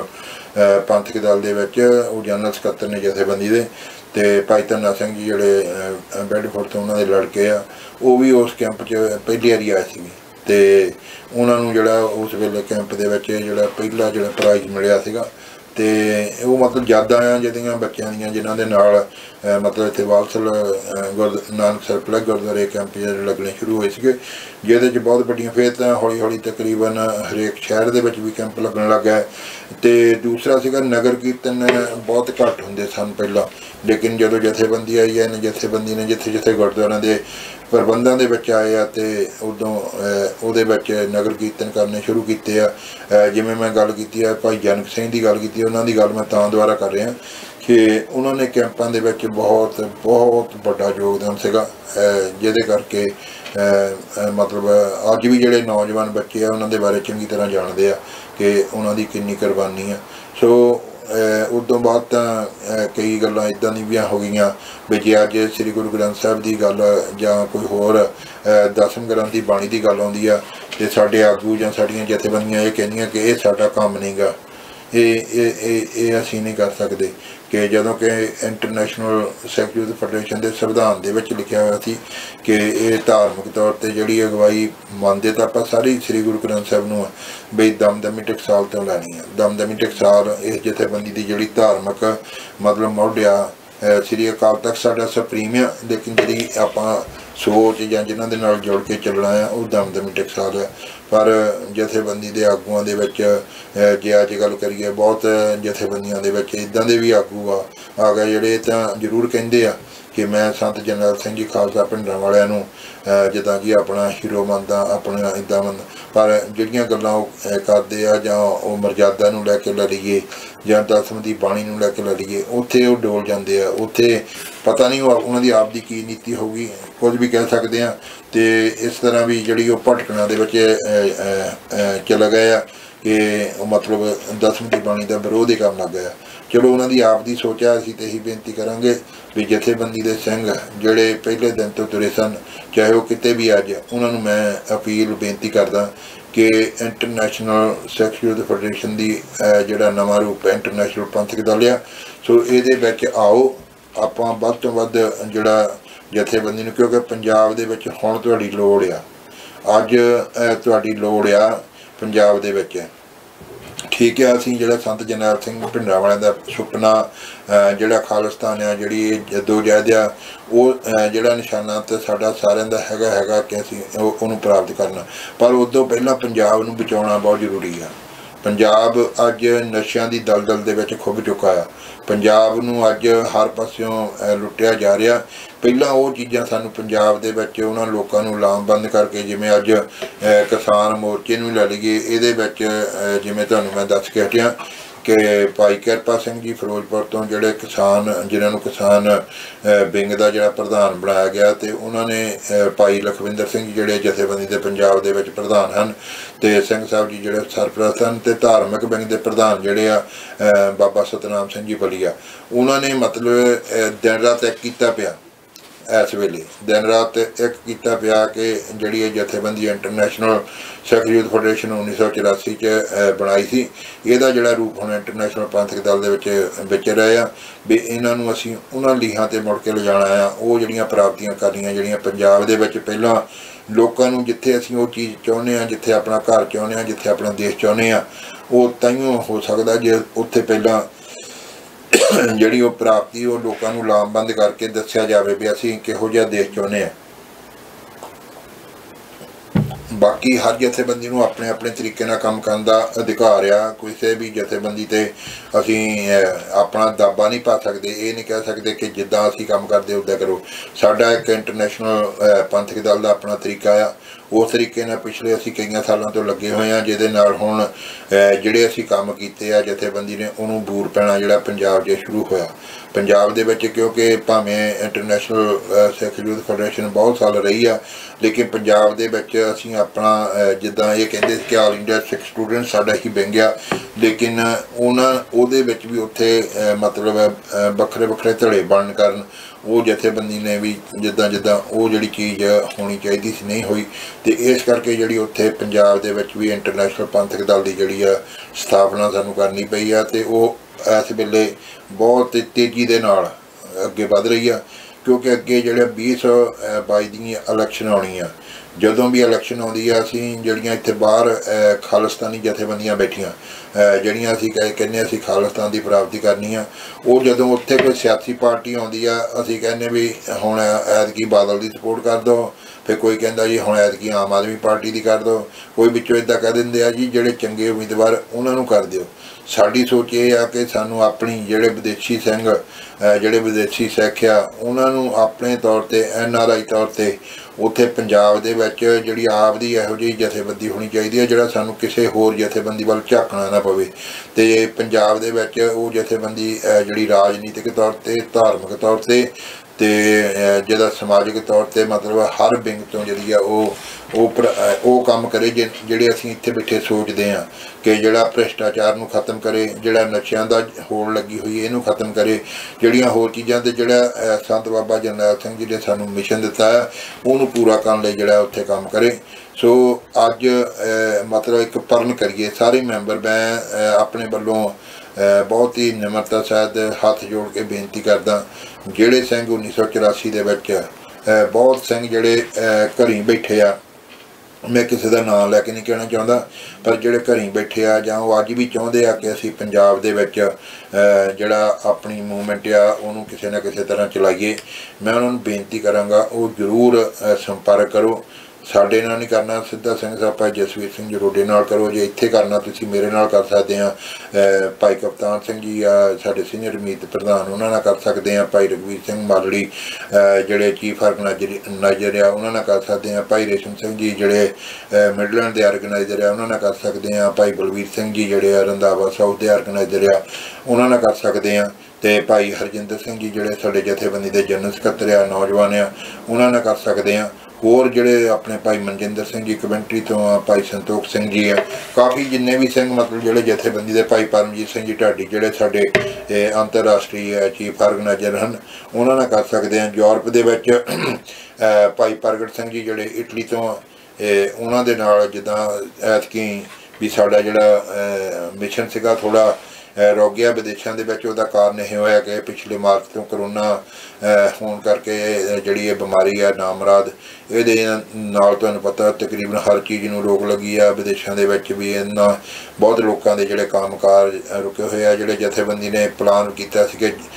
ਜਰਮਨੀ ਦੇ ਵਿੱਚ ਵੱਡੀ ਕਾਨਫਰੰਸ ਇਸ ਸਾਲ ਸਾਡੇ ਕਰਨ ਦਾ ਇਰਾਦਾ ਸੀਗਾ। ਤੇ ਲੇਕਿਨ ਉਹ ਕਰੋਨਾ ਕਰਕੇ ਵੀ ਅਸੀਂ ਉਹ ਜਿਹੜੀ ਆ ਪੋਸਟਪੋਨ ਕੀਤੀ ਆ। ਹੁਕਮ ਜਿਹੜਾ ਜਦੋਂ ਵੀ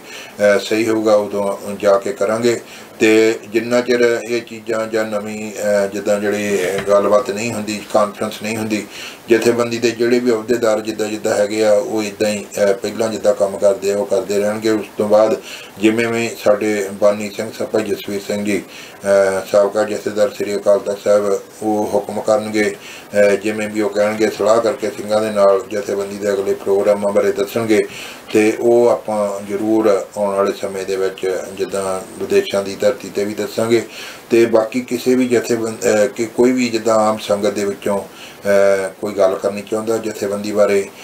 ਜਥੇਬੰਦੀ ਦੇ ਕੰਮਾਂ ਬਾਰੇ, ਸ਼ਹੀਦ ਪਰਿਵਾਰਾਂ ਲਈ ਅਸੀਂ ਕੀ ਕਰਦੇ ਆ ਉਹਦੇ ਬਾਰੇ ਕਰਨੀ ਚਾਹੁੰਦਾ ਆ, ਤੇ ਜਾਂ ਜਿਹੜੇ ਕਿਸਾਨ ਆ ਮੁੱਦਾ, ਉਹਦੇ ਬਾਰੇ ਕੀ ਕਰਦੇ ਆ ਅਸੀਂ, ਉਹ ਵੀ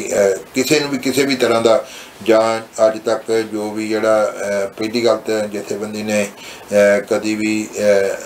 ਹਾਲ ਦੀ ਘੜੀ ਕੋਈ ਐਸੀ ਵੱਡੀ ਅਪੀਲ ਨਹੀਂ ਕੀਤੀ ਜਾਂ ਲੋਕਾਂ ਨੂੰ ਇਹ ਬੇਨਤੀ ਨਹੀਂ ਕੀਤੀ ਕਿ ਸਾਨੂੰ ਪੈਸੇ ਦਿਓ ਕਿਉਂਕਿ ਜਿੰਨੇ ਸਿੰਘ ਮੈਂਬਰ ਹਨ ਜਥੇਬੰਦੀ ਦੇ ਉਹ ਆਪਣੇ ਆਪਣੇ ਤੌਰ ਤੇ ਜਿਹੜੇ ਬ੍ਰਾਂਚਾਂ ਦੇ ਵਿੱਚ ਹਨ ਉਹ